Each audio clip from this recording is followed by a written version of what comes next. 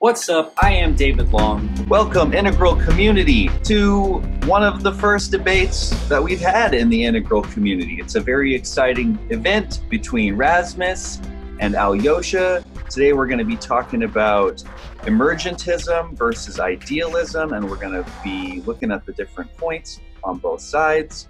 First of all, I want to apologize because I couldn't figure out how to go live and do this in the group or on YouTube. I'll try to do better next time. So I'm sorry about that to everyone. But I hope you enjoy this debate. First is going to be Rasmus, and he's going to go for about 10 minutes with his opening remarks, making a case for idealism and against emergentism.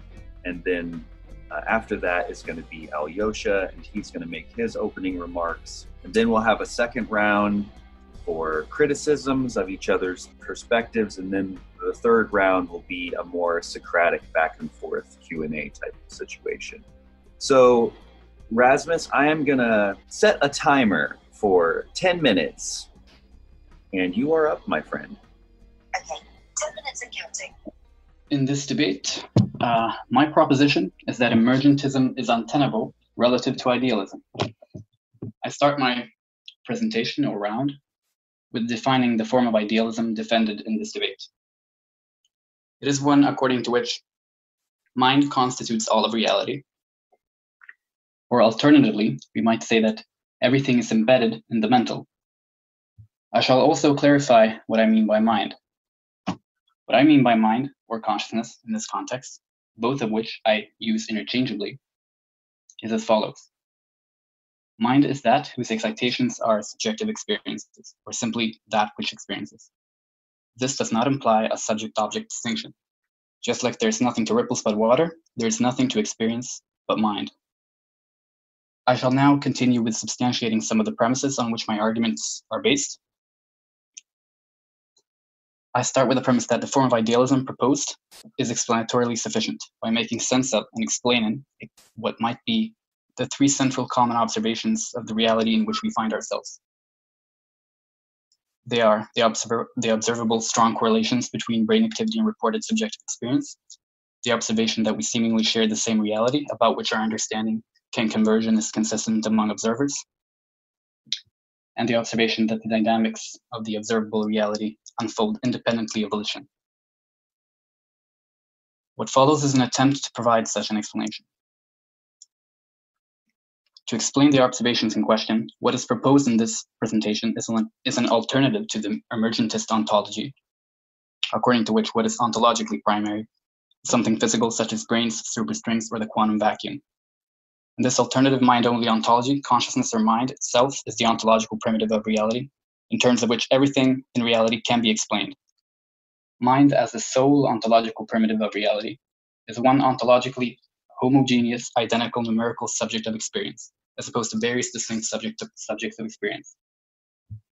What explains our very seemingly numerically distinct centers of consciousness is the apparent fragmentation of mind into seemingly distinct minded entities through a process of dissociation. In normally integrated and unitary minds, there are cognitive associations between contents of consciousness or mental contents.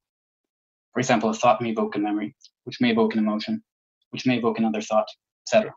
All such mental contents are usually accessibly integrated. However, there's an empirically well-known phenomenon in psychiatry called dissociation, in which, in which some of the interrelated cognitive associations in a unitary mind cease to exist and thus become dissociated, resulting in distinct, simultaneously conscious centers of awareness.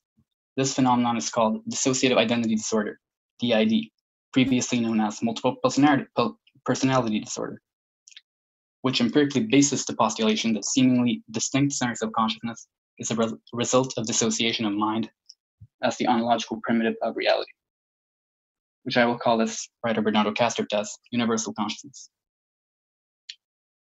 According to this mind only ontology, universal consciousness as the ontological primitive of reality dissociates into various alters in universal consciousness, outside of which is what I call transpersonal mind, or mind at large, to use a Huxleyan term. The transpersonal mentation of mind at large impinges on the dissociative boundary of alters resulting in perception, corresponding to the transpersonal mental states from which the perceptions are impinged. What we call perception of the universe that is not perception of other sentient beings or biological organisms, is thus phenomenal representation of transpersonal mental mentation in mind at large, and perhaps of other sentient beings. Sorry, and perception of other sentient beings, the phenomenal representation of other associated alters within universal consciousness. As such, the capacity of various biological entities to perceive each other is a function of impingement of mental activity in mind at large. The dissociated mentation in any given alter will impinge on transpersonal mind, affecting its mental states, uh, which will in turn impinge on another alter sharing the same transpersonal mental environment, resulting in the perception of a biological body. In other words, some of the mental contents in transpersonal mind can get impinged by mental contents of an organism, which in turn impinges on the mental states of, an, of another organism, for whom those mental contents is the appearance of another organism in the form of its body. This explains our first observation, observation that there are strong correlations between brain activity and reported subjective experience. Brain activity and mental states correlate tightly with one another because the mental states of an alter causes in another alter, through impingement, the extrinsic appearance of the first alter's biological body, of which the brain is an integral part. As such, the body-brain system is the image or extrinsic appearance of a process of localization in universal consciousness. Brain activity, then, is simply part of a phenomenal representation of the mental activity or phenomenal experiences of another dissociated alter in universal consciousness, appearing as a certain representation through a process of impingement across the dissociated boundaries of the respective alters. And of course, brain activity then, as a phenomenal representation, necessarily correlates with the phenomenal experiences it is a representation of. Such brain activity is simply a part of what the phenomenal experiences of an alter look like from across respective dissociated boundaries. This also explains our observation that we seemingly share the same reality. What is being commonly perceived by organisms is not a mind external reality, it is rather a mental reality corresponding to the set of perceptions or appearance we call the inanimate universe as a whole. In other words, it is mental contents in transpersonal mind, or the same part of transpersonal mind corresponding to the phenomenal experiences or mental contents of various organisms in terms of which each of them apprehend and recognize a shared environment. From the prose ontology, we can also explain why the dynamics of the observable universe unfold independently of volition. The volition of any given dissociated alter in universal consciousness is part of the mental activity of the given alter, and as such, it is also dissociated from the rest of universal consciousness. And thus, it has limited control of how the universe unfolds.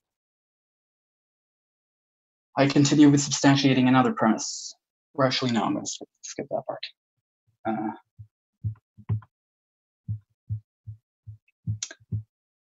um, having substantiated uh, the most important premise, I proceed with providing uh, an argument for a form of idealism based on that premise.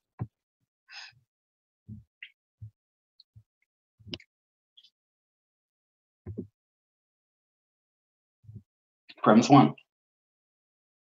If explanatorily sufficient, the more parsimonious ontology is more tenable relative to a less parsimonious ontology. Premise two. The proposed idealist ontology is more parsimonious relative to emergentism. Conclusion. Idealism is more tenable relative to emergentism. Having presented a more or less complex, complex argument for my proposition, I proceed with bringing some of this a little bit back from mentally masturbatory philosophical jargon land to some general points. In philosophy, there's a distinction between our qualitative experience and the things themselves, which is the distinction between the phenomena and the noumena. My claim is that yes, there is the noumena, but it is phenomenal in essence, or we might say mental in essence. It is nothing but mental processes. Additionally, my parsimony argument can be captured with a rhetorical question. It goes as follows. If we can make sense of things in terms of only one type of thing or ontological category, then why postulate a second? The essence of the parsimony, parsimony argument can also be captured with the following anal analogy. You don't say that what is beyond the horizon is a different planet, but just more Earth. I now proceed to make a very short negative case against emergentism. My contention is that insofar as we have no good reasons to believe that mind emerges from physical processes, we ought to reject that belief. I'm not here making the stronger claim that mind does not emerge from physical processes. My claim here is merely like the claim that, insofar as we do not have good reasons to believe that unicorns or fairies exist, we should reject these beliefs. Having completed my uh, my first round, I now return the floor to uh, David or Aljoša. Nicely done, man, with even like 25 seconds to spare. All right, Aljoša, I am going to turn it over to you now and 10 minutes. Go ahead. Yeah, I probably won't even need so much as 10 minutes. Um, so obviously Erasmus has is a bit more prepared because I'm just suspecting he was probably reading from some kind of a text, if I'm not mistaken. How did you know? Yeah, I don't know, just just a hunch, I guess, or maybe the way you spoke. But that's fine. I mean, it's great. Um, I kind of remember our talks when we had our text chats on the Facebook, if you remember.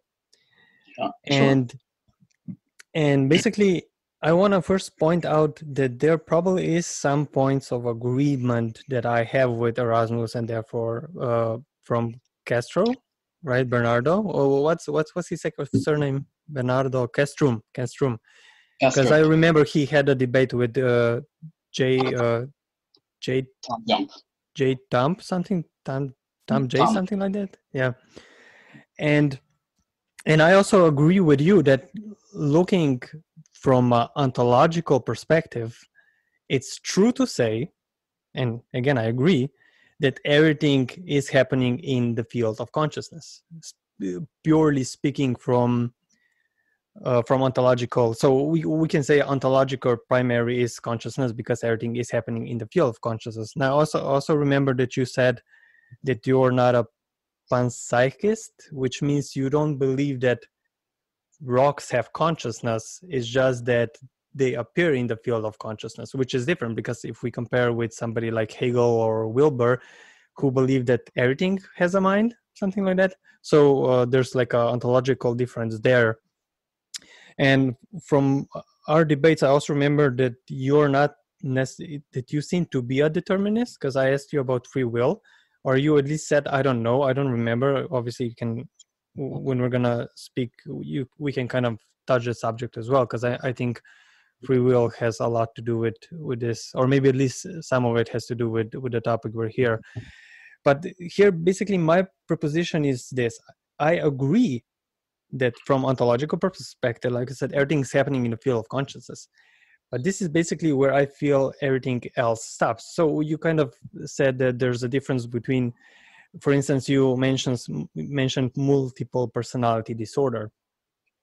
But multiple personality disorder is um, it's still based obviously it's hard for somebody who doesn't have multiple personality disorder to kind of say how that would look right?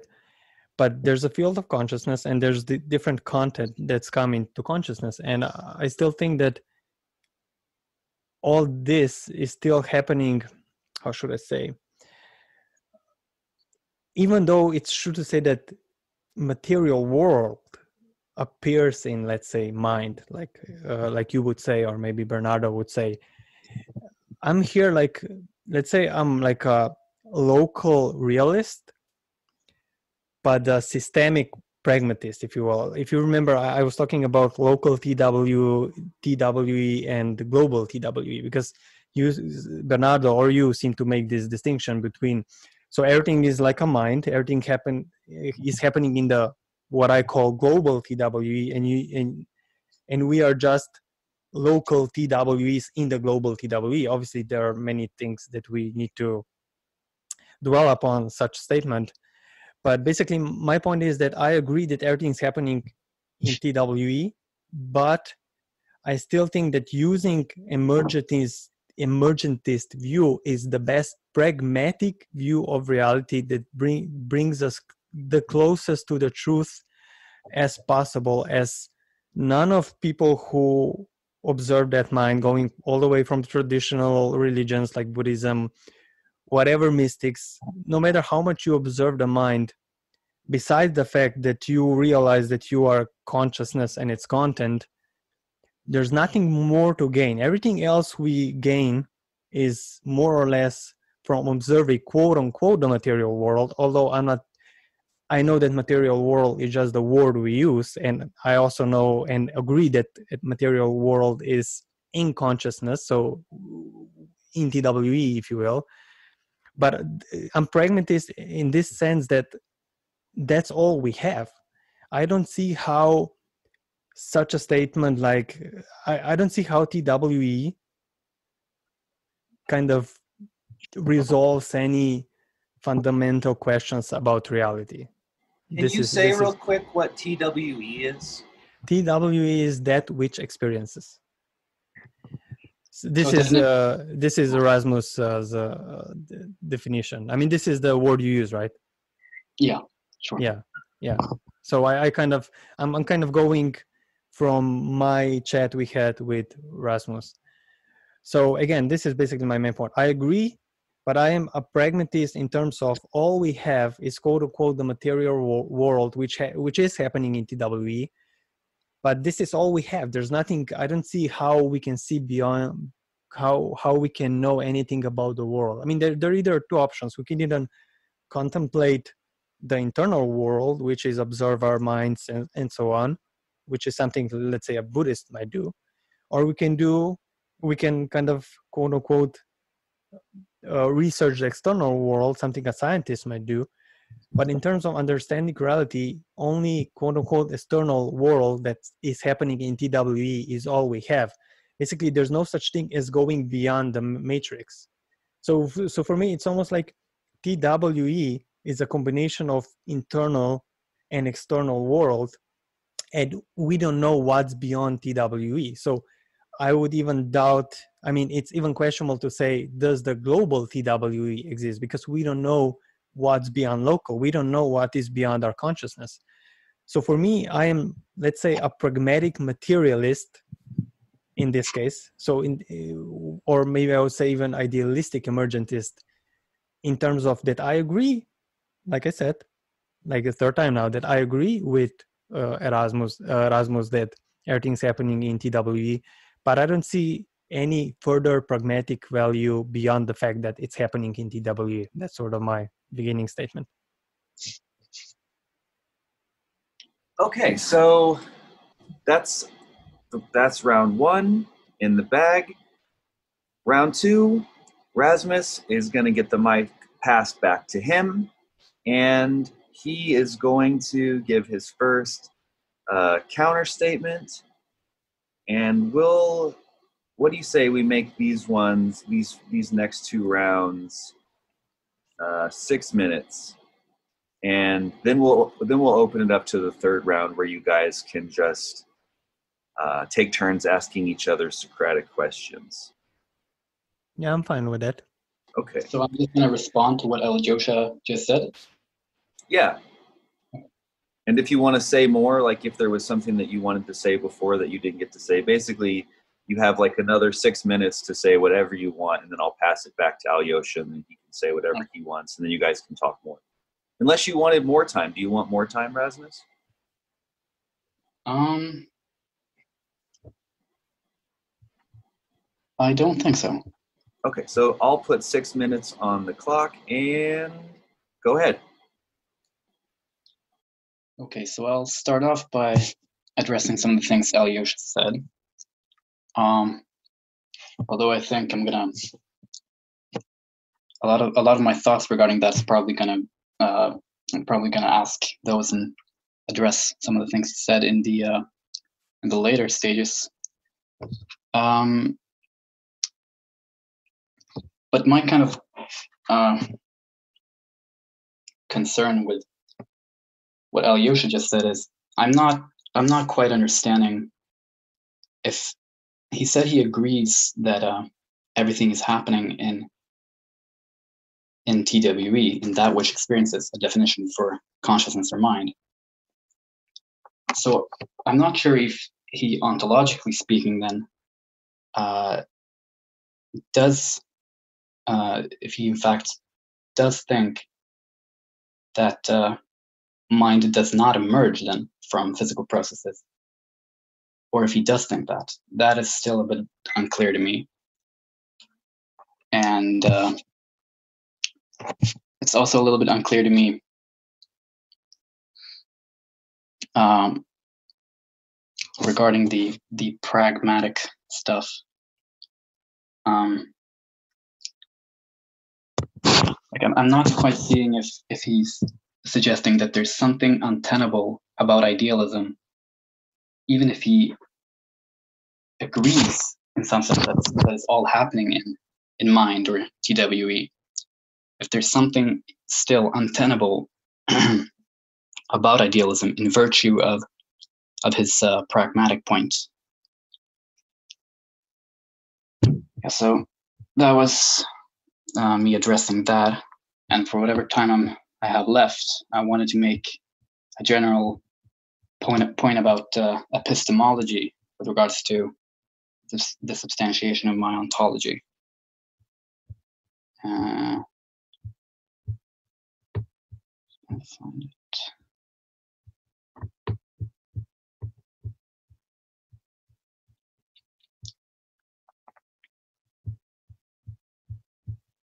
How much time do I have left? You have three minutes, three and a half minutes. Three and a half minutes. Was there a part you wanted to read from your previous thing you didn't get to? Yeah. Kind of scrolling through here to find it. I mean, we can extend these things a little bit longer, you know, like, and so, I mean, we don't have to be super strict about the time. I just, you know, I'm trying to make sure that nobody runs off with it kind of a thing. So if you want to read your bit, you know, maybe now's a good time to do that. Yeah. Uh, okay, so I found it. My my epistemic point uh, is the following. Uh, I also contend that uh, idealism is epistemically more reliable relative to emergentism.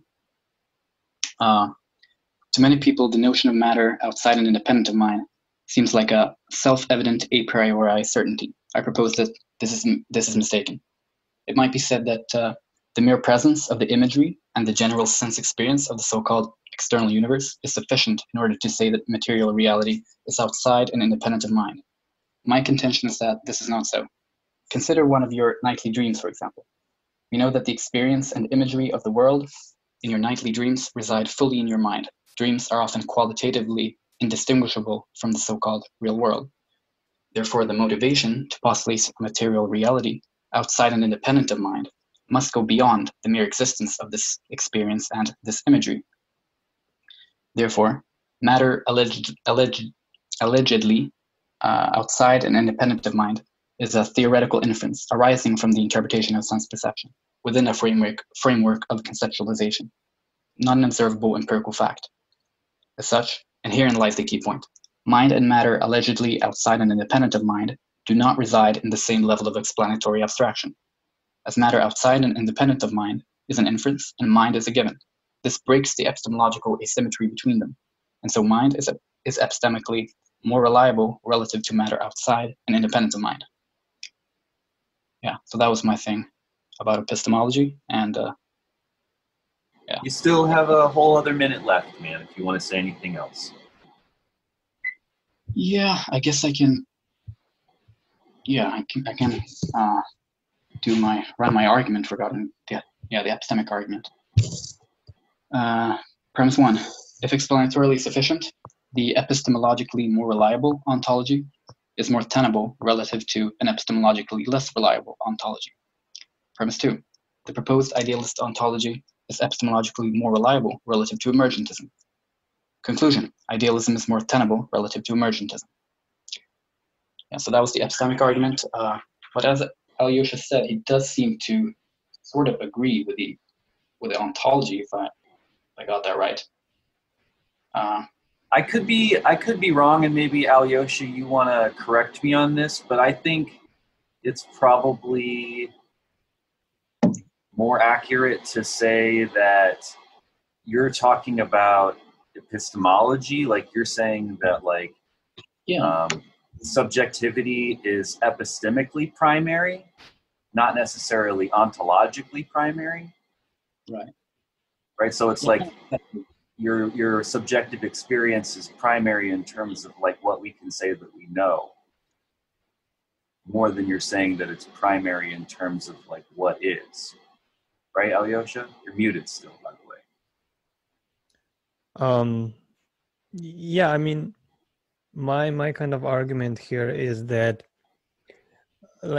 i mean i'm gonna i mean are, are we going to the third round already or Yeah, it's uh, it's your third. It's your no, no, no, no. It's your part of the second round. oh But- okay i'm ready. it's my already my turn um But yeah, you should clear this up. So go ahead. Six minutes. yeah I might not even need six minutes so my argument so i want to kind of point out that materialism per se is just the way we experience things right so materialism is like a pragmatic use of how twe how we experience the world ontologically speaking. So everything's happening in consciousness like er-, erasmus says and saying something a material let's say you know a chair is a material thing is just a pragmatic way. Obviously we don't know what chair is ultimately made of. Obviously we know it's atoms but we don't know what atoms are made made of and quantum physics and how all this works.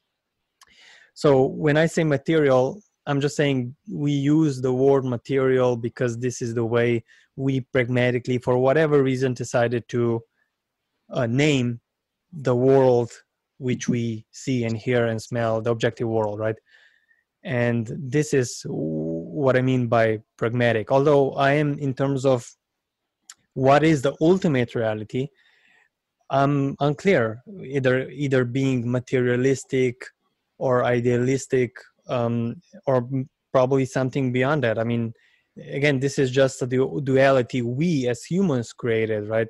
Um, what's beyond that is probably i mean this is the problem with the matrix right? Right? So if this is the matrix and let's say somebody steps out of the matrix what's the next matrix right? Nobody knows. Um i think that dream analogy that uh, rasmus made again i'm, I'm i I think uh, it should be better that when we start talking we can kind of go back and forward. So i'm not gonna even go way too far. I would rather see if we just uh, continue to the third round because i feel it's better for communication. So this is sort of enough for now. So Aljoša, you're saying that you're ultimately an agnostic, and that in terms of what the ultimate truth of reality is, like we could be in a simu- simula- simulation for all you know, but like science is more pragmatic about how reality works yeah yeah within whatever this is. exactly and Okay. i and i think I think that rasmus then kind of needs to point out if he's arguing i mean again uh, i'm not sure exactly how he's arguing that his version of idealism is better in terms of understanding reality so what exactly he's basically i know he said that that kind of solves the problem of consciousness and then i, I kind of accused him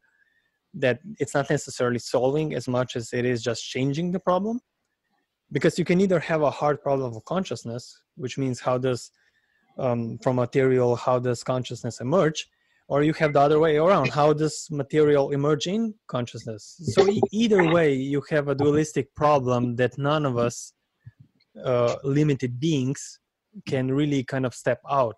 So i don't see how either materialism or idealism takes us out of the matrix and sees what's on the other side.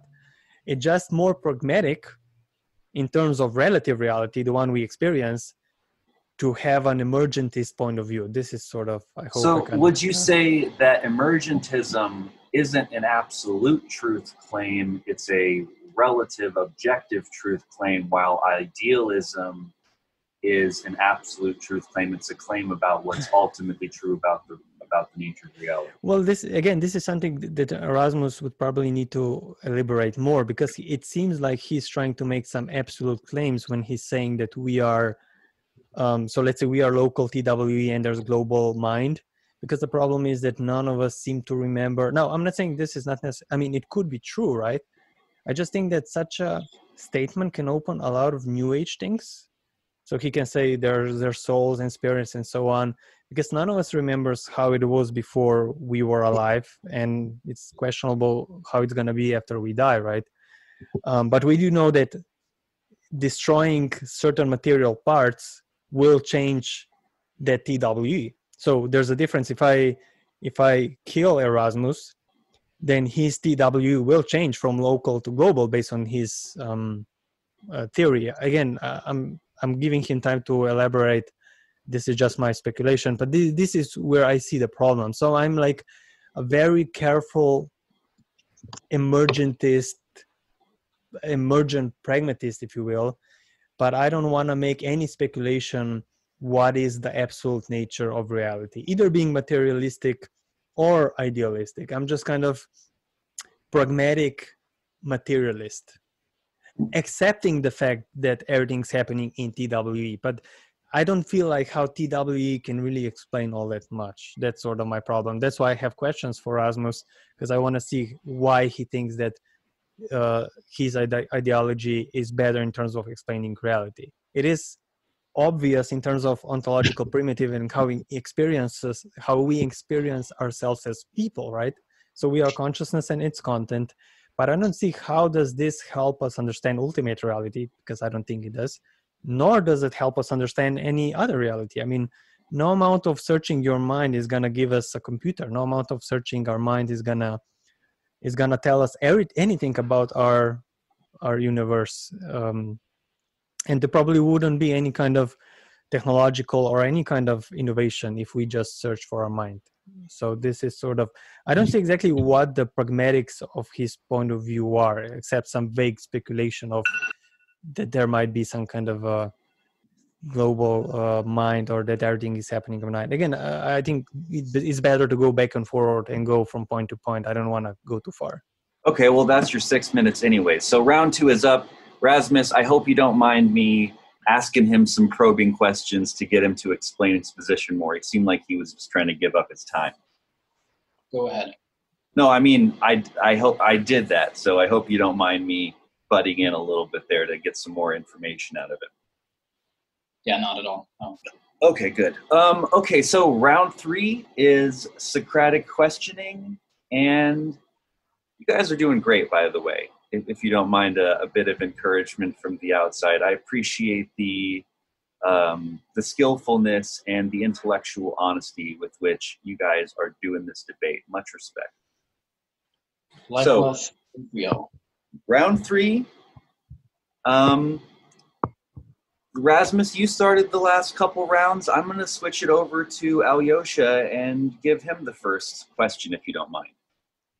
Mm-hmm, sure. Go right ahead, Aljoša. Okay, so I guess Mike, uh, I'm I'm just gonna probably ask some logical questions here. So obviously, I just want to make sure first we kind of understand each other, um, and I think we probably do. And like I said, I agree with the ontological primitive that everything is in consciousness, right?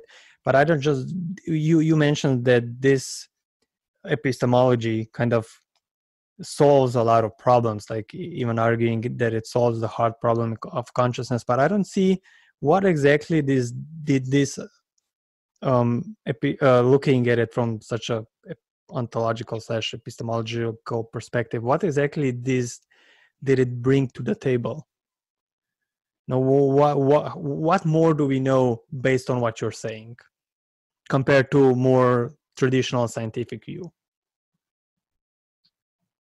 um, well, I think that's uh, a separate question from the question of whether it's whether it's true, right? Whether it's uh, whether, whether what it brings to the table seems to me like a like some sort of a meta discussion rather than actually uh, the actual ontological discussion. Uh, so I don't see how that is is relevant to that point. Well, I mean, but we kind of agree with ontological. So we both agree that from subjective experience of each individual being, everybody is experience, experiencing experiencing themselves as con- consciousness and its content, right? So we can, so it's almost objectively true to say that everything's happening. So everything is a content of consciousness. Therefore, everything is happening in consciousness. so we agree on that but i don't see what more can you derive from this except the the very fact that what i stated is true but how does for instance this solve the hard problem of consciousness because I, I remember you once mentioned that Um, well, it solves the hard problem in that, according to idealism, uh, mind or consciousness is not a product of of material processes in brains. So it circumvents the question by denying the question in the first place, by denying its validity. Uh, the question ba- basically asks how, but it assumes uh, that. It assumes that it does it, which is, of course, what is being denied.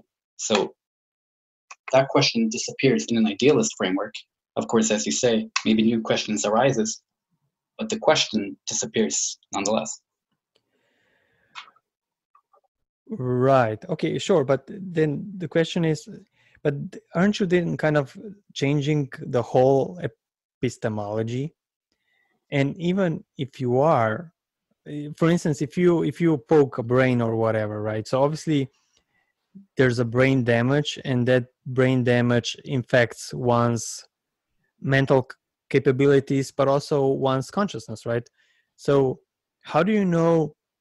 So, for instance, if somebody shuts down your body or uh, let's say kills you for a lack of a better example Yeah. what would happen to tw in this case Aljoša, you guys, I'm gonna I'm gonna jump in here real quick because that's your second question.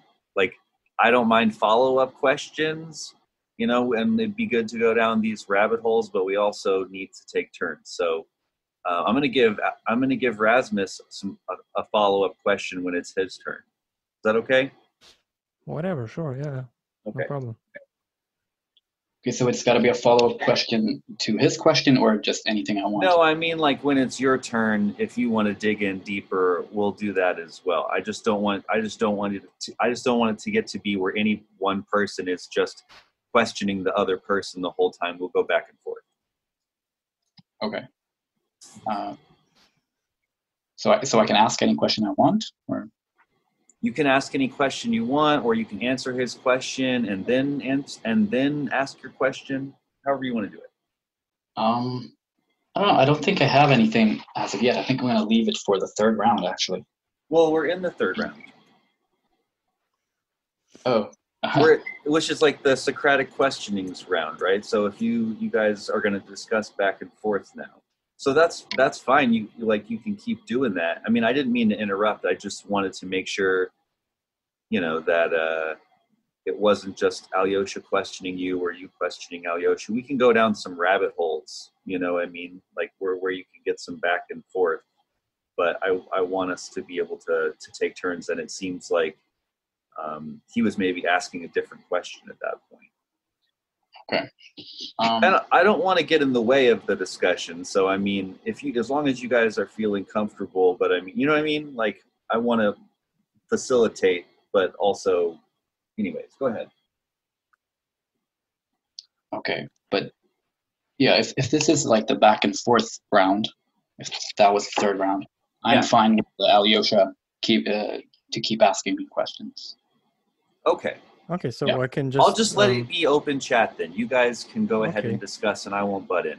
so i'm I'm just gonna restate the question right so you're basically saying that everything is in tw therefore kind of circumventing the question right but Mhm. then obviously if that's the case you need so the, the- obviously the, it seems to be that like there's a difference between being alive and being dead and there right? So there, there's a difference between d- dreaming and waking up in the quote unquote real world.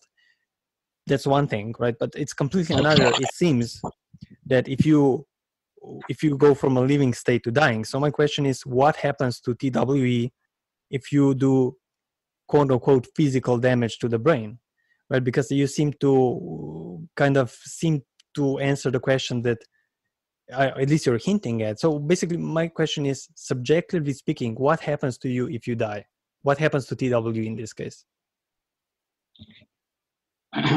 yeah, I anticipated this question, so I actually wrote a uh, right a response to this, or prepared a response to this. So I'm just going to read it. Uh, I think uh, the question implicitly assumes some separately existing entity that continues to exist over time and is capable of ceasing to exist uh, or continuing to, to exist at a specific moment or event, such as the one we call death.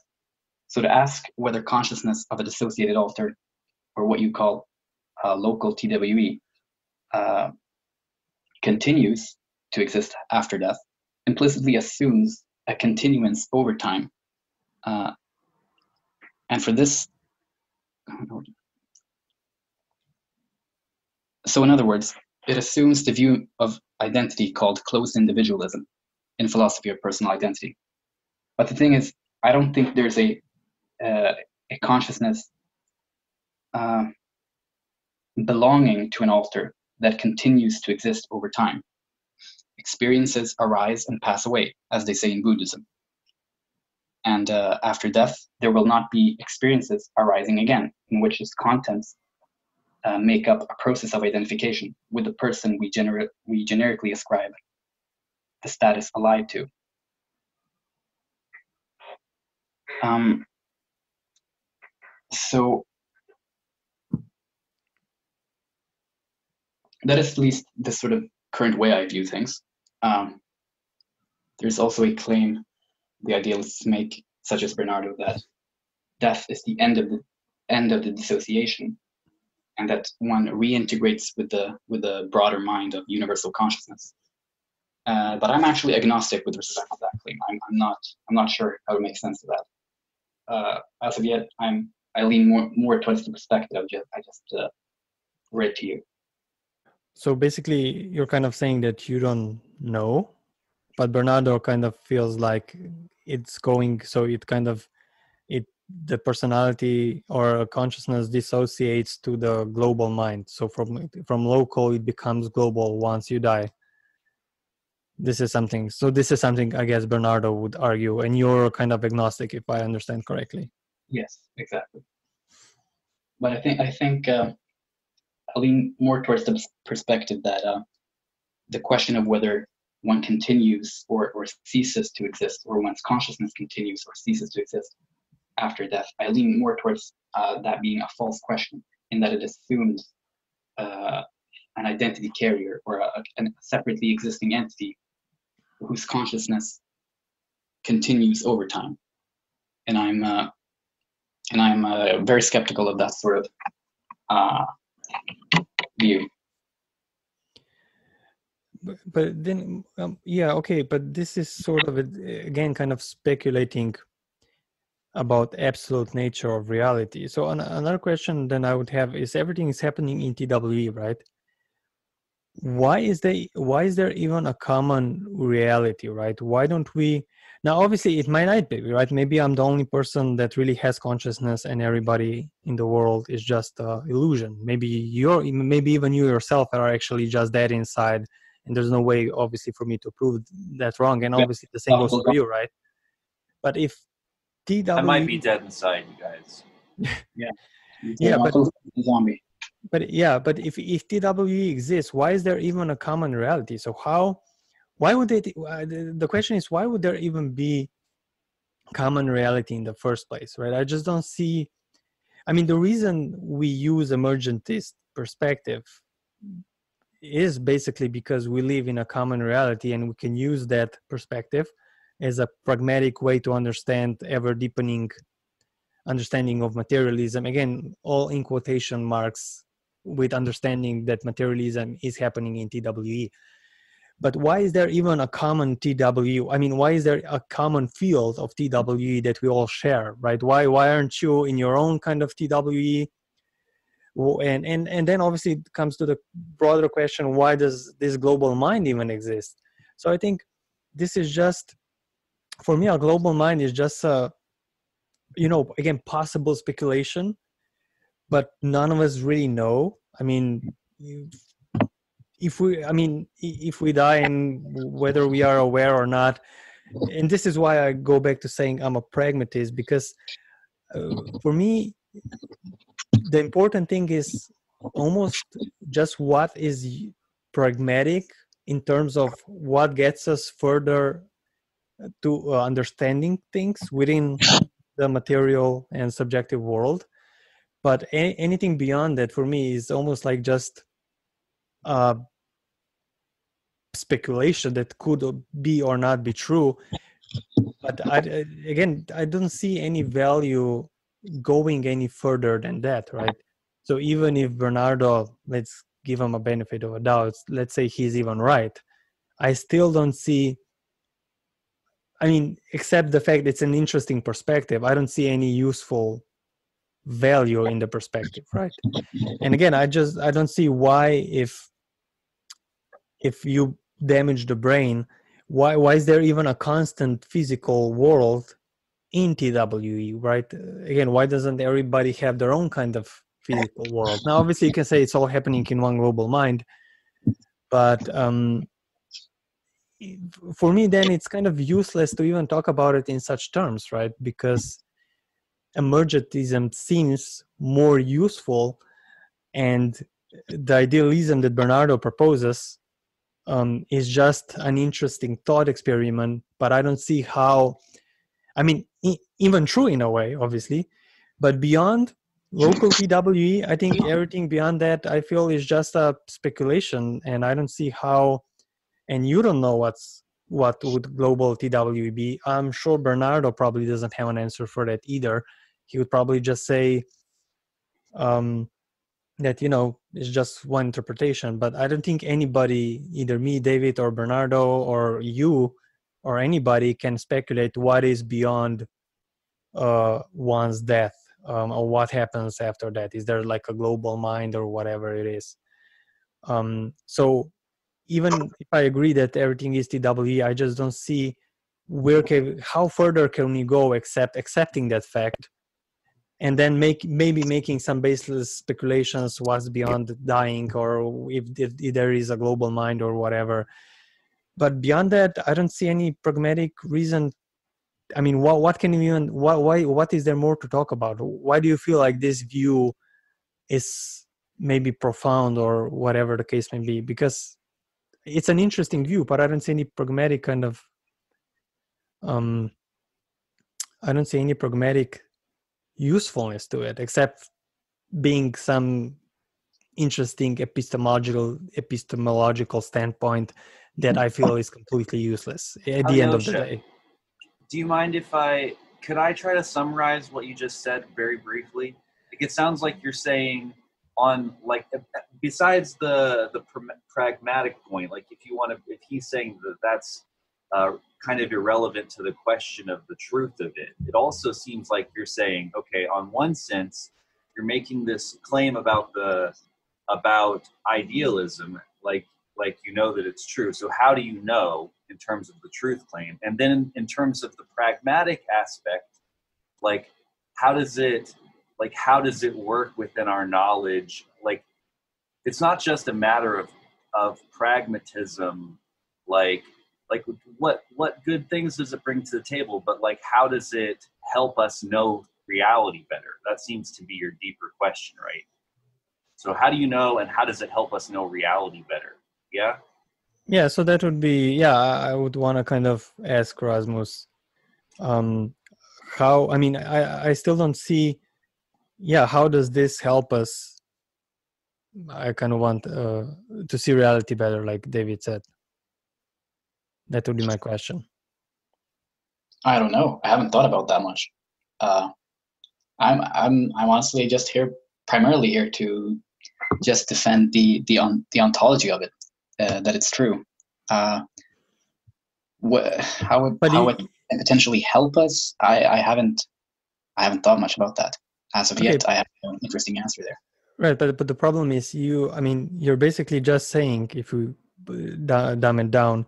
Everything's happening in TWE, but yet cannot even make the most basic and probably important leap between what uh, the difference between the local and global, right? So you're basically just saying then everything is happening in TWE, but I don't really know what happens after that. Is there like a global mind?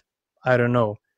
But then if that's the case, I actually like I said, I agree with the fact that everything is happening in consciousness, that which experiences, but I just don't.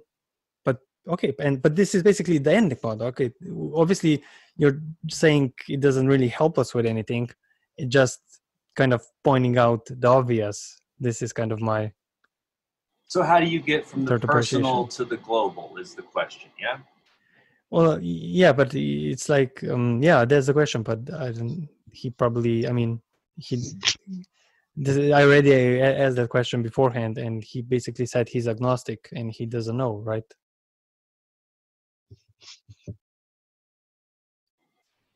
Because how this disassociation part? How do you know when you die that this personal, um, the local TWE becomes um, global the global part of the global mind Right. how how how, how does one know that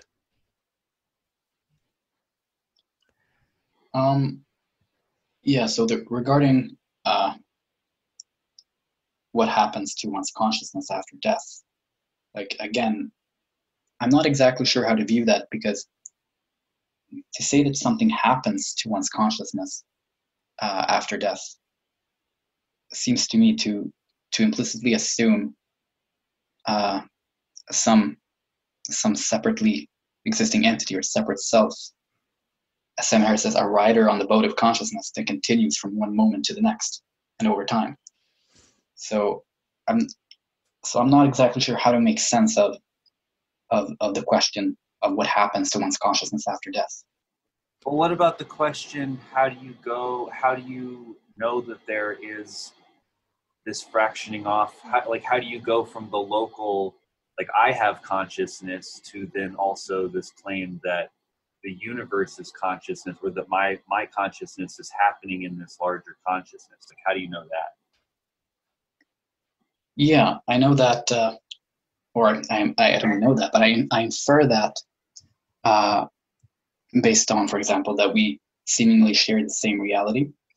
Uh, an emergentist or a physicalist might say that what we should infer then is a is a material reality outside and independent of mind. And my claim is that that step is illegitimate. It is more parsimonious to infer something beyond our minds, yes, like I said earlier, yes, there is the noumena, there is the things themselves outside of our personal minds, but that thing is is is not mind external. It's not of a fundamentally different ontological nature. It is rather of the same ontological nature uh, as as our own consciousness. It is yet, it is yet more consciousness that is outside of our personal personal minds. So it is it is more parsimonious to infer that. That's that's the reason. but you don't know what's happened what happens to this consciousness when you die I don't know what happens to uh, what we call our consciousnesses. but what what do you make so what is i mean is it how do you even view the difference between our consciousness? So consciousness so for me consciousness in this case is everything that can everything that can observe everything ex- except itself right? So it's kind of a more buddhist interpretation. Now obviously we can go with that which experiences but i mean for me it's almost the same thing.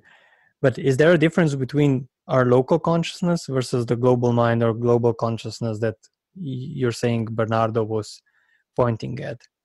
Because i mean the why why does even local consciousness exist? Why why isn't there just one big global mind or whatever? Um i don't know i just i just don't i just don't see any any Aljoša, what do you Yeah. make of his what do you make of his argument that um, that postulating an exterior reality is um, adding extra things, and that's and that's that's his argument. What do you think about that? well if i i mean if i understood correctly he's not saying that um he, he's basically saying that everything is happening in the field of consciousness he's not saying that um Well, I asked him how he knows how he gets from this idea that he exists to the idea that the universe is consciousness, and he's saying that that it's because you have to postulate less things. We know we know mind exists, we know consciousness exists, and therefore like that's so it's easier to say well then all that exists is mind rather than think that there would be some exterior reality. It's more it says it's more parsimonious to postulate less things. What do you think about that? Um, well, I assume one can, uh, uh, Rasmus can answer that. no that's a question to you. That's his point. What do you think about his point? Oh, okay. Um, well, maybe I don't quite understand what, or maybe I have a different kind of um, interpretation. But if I understand him correctly, he's basically mm, he he's not saying that he's basically just arguing that everything is happening in the field of consciousness, right? well i asked him how do you know that there is this this bigger mind at large that we're a part of. And he said that the reason that he knows is because it's more parsimonious to postulate less things. We know mind exists because that's all we can really know. So there so like so he gets from that to this idea of uh, mind at large and that we're a part of that rather than postulate an exterior reality. He says it's more parsimonious, and that's how he knows. What do you think about that? Well, I mean, the problem is it's hard to it's hard to i mean, here I feel like and this is something I said before, it seems like he's changing the whole epistemological approach, right? And I don't see how I could I mean, I agree it's I, I don't see how one could counter argue this point that he's making besides going back to the fact that I, I can change my epistemology by simply saying well let's go back to the emergentist view and say if you damage this and that uh, consciousness uh, destroys. But i don't see how i could counter argue that point. So when we were talking on the facebook i kind of agree that he is right in this case.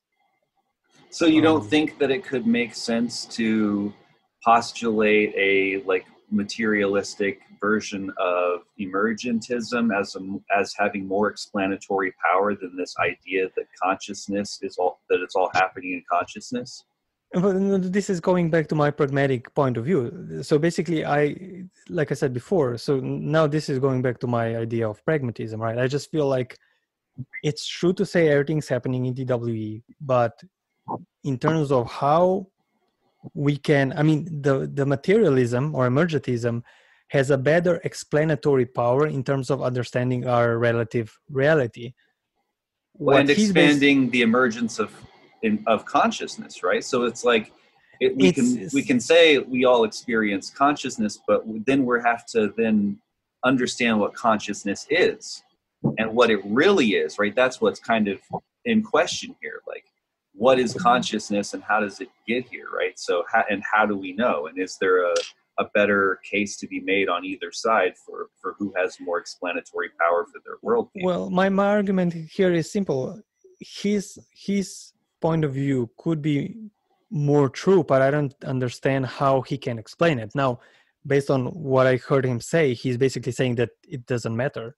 It's he was just trying to say, ontologically speaking, everything's happening in consciousness, and he doesn't care about pragmatism or is emergentism a more useful um, way to try to explain all this stuff. But as i understood him he doesn't necessarily care about that part. He's just saying everything is happening twe he doesn't know about the global. He just thinks about the lo- local but he doesn't care about the explanatory power and all the other things. Um, that go with it. Because again this is about the battle of epistemology because okay i all i can do in this case is just say okay let's switch back to emergentism and say and here's the reason why emergentism is better because you know we can observe material reality and speculate. But then he could just say well But yeah sure but i don't care about that he's because saying that's not my point. he's saying that he has the better explanatory power because um, Occam's razor, he's postulating less things. I, So I mean, does he, that he, him he, feel he better? didn't. He didn't. uh, I mean, he didn't necessarily say he had better explanatory power. He's just saying that ontological primitive is TWE. But he beyond that, he it's just some vague speculation between the difference between local and global, and that's pretty much all we have. I don't I don't see how we could even go any further than that. And this is the problem that I have because besides that point, I don't see what else can can one bring to the table. So this is why I'm saying I agree with him. But then this is the end because that's all we have. Okay, I Do you wanna but jump now in we need to go back to Rasmus? emergentism. Like I'm, I'm not actually sure I'm understanding his objection uh, regarding. No, the- I'm not. I'm not objecting. I'm I'm, I'm agreeing with uh, you with you in this case. Yeah. I'm just saying that you don't seem to be in. I mean, the problem is, this is the problem of epistemology, right? I mean, of pragmatism. You're you're basically arguing that you don't necessarily care about how we should explain our experience. You're just arguing that everything is happening in TWE. No, right? This is all you're arguing. I don't care. It's not that I don't care. It's just not my primary concern. Uh, in general, at the moment, it's not, and neither in this uh, conversation. Because What, what basically- is your primary concern, Rasmus? My primary concern is uh, is uh, showing uh, that idealism, ontologically speaking, is is uh, is more tenable relative to emergentism. You mean you mean in this debate? Yeah, in this debate? Right. Okay. No, I assume in in So when he says when he says tenable, he means he means it's got the better explanatory power. That was kind of what he said in his opening not statement. am no, no, no, no. He No? didn't. No, I don't think. I don't think so. Well, what do you mean by tenable, Rasmus? Yeah, it's like given a choice between emergentism and idealism, we have better reasons to believe uh, idealism is true, ontologically speaking.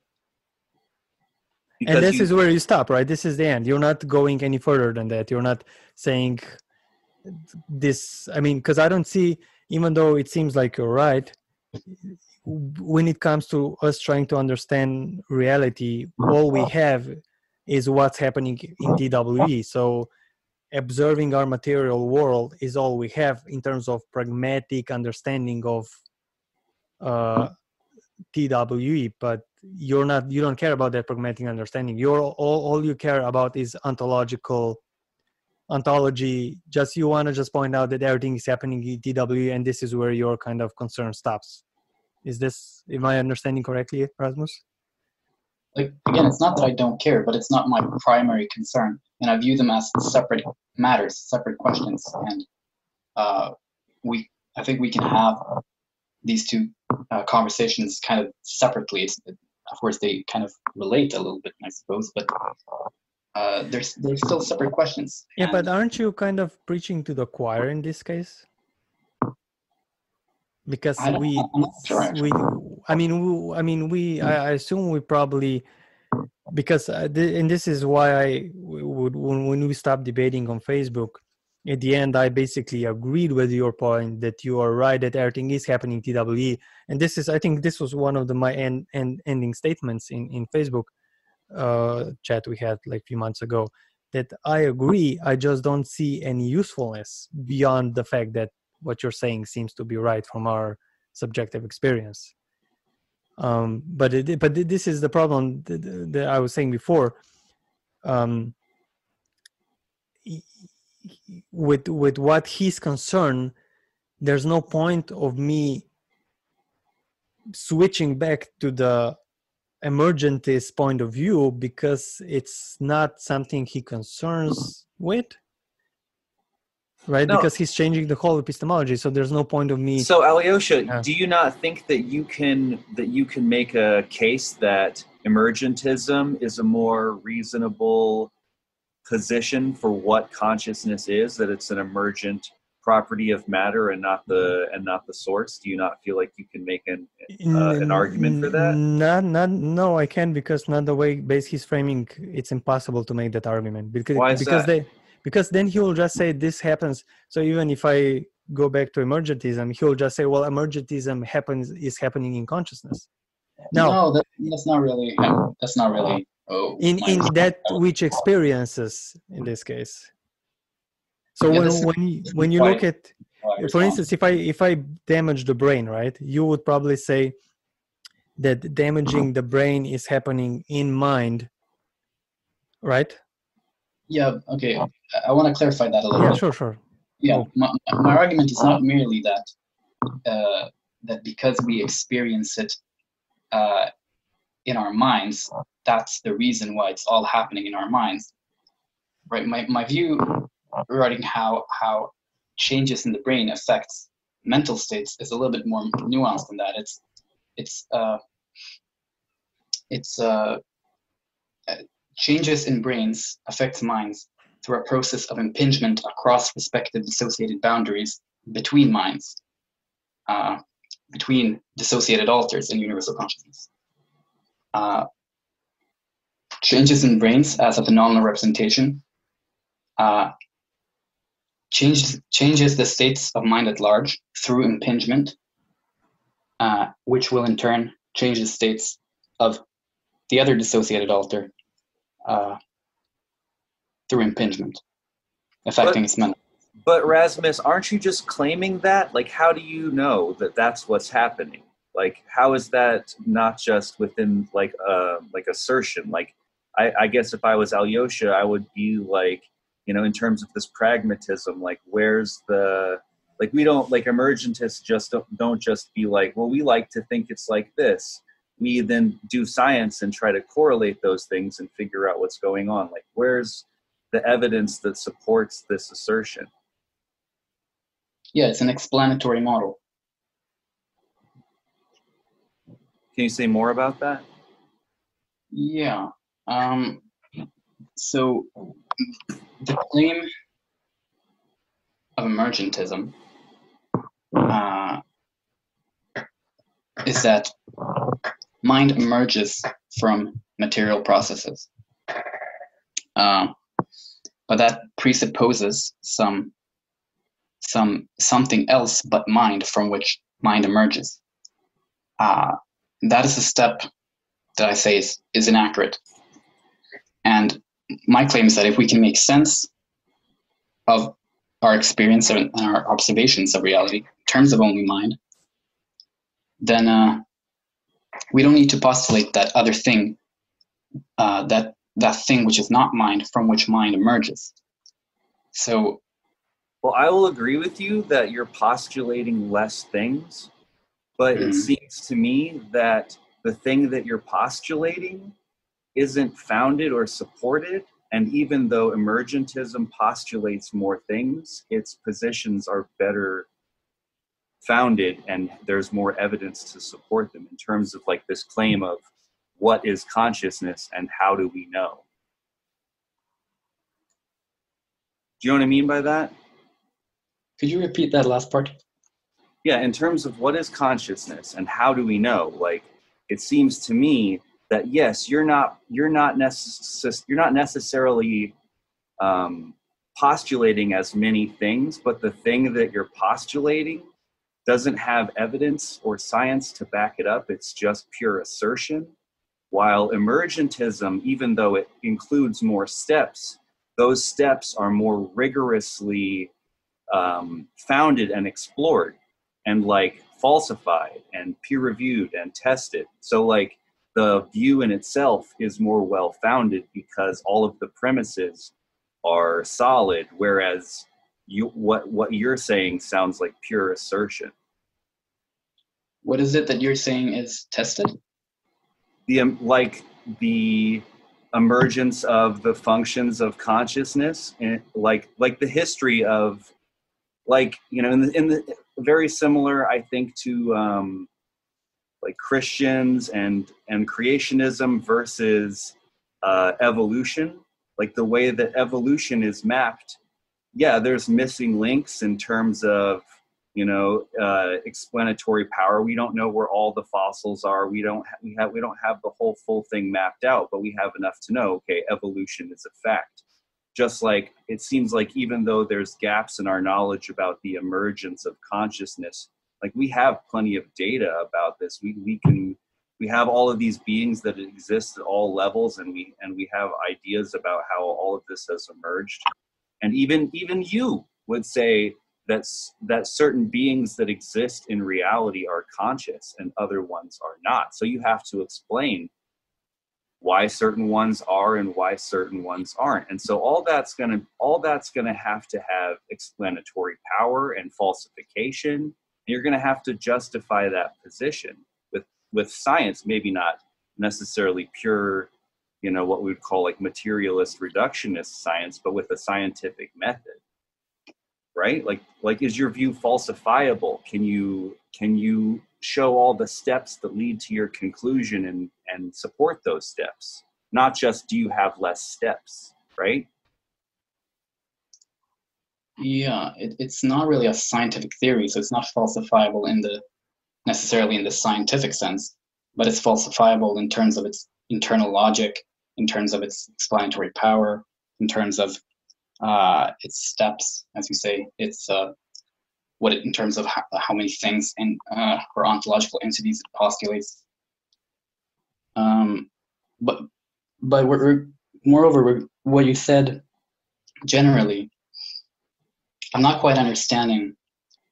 It, it seems like you're saying that based off of the data, the given data that, that you have in mind, uh, that it somehow supports an emergentist uh, conclusion, but I don't, I don't really see how that follows.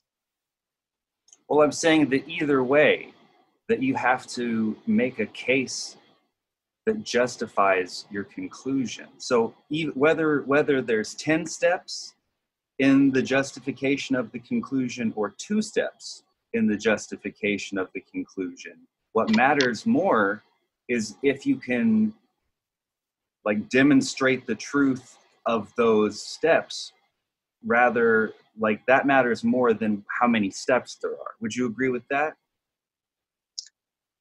Um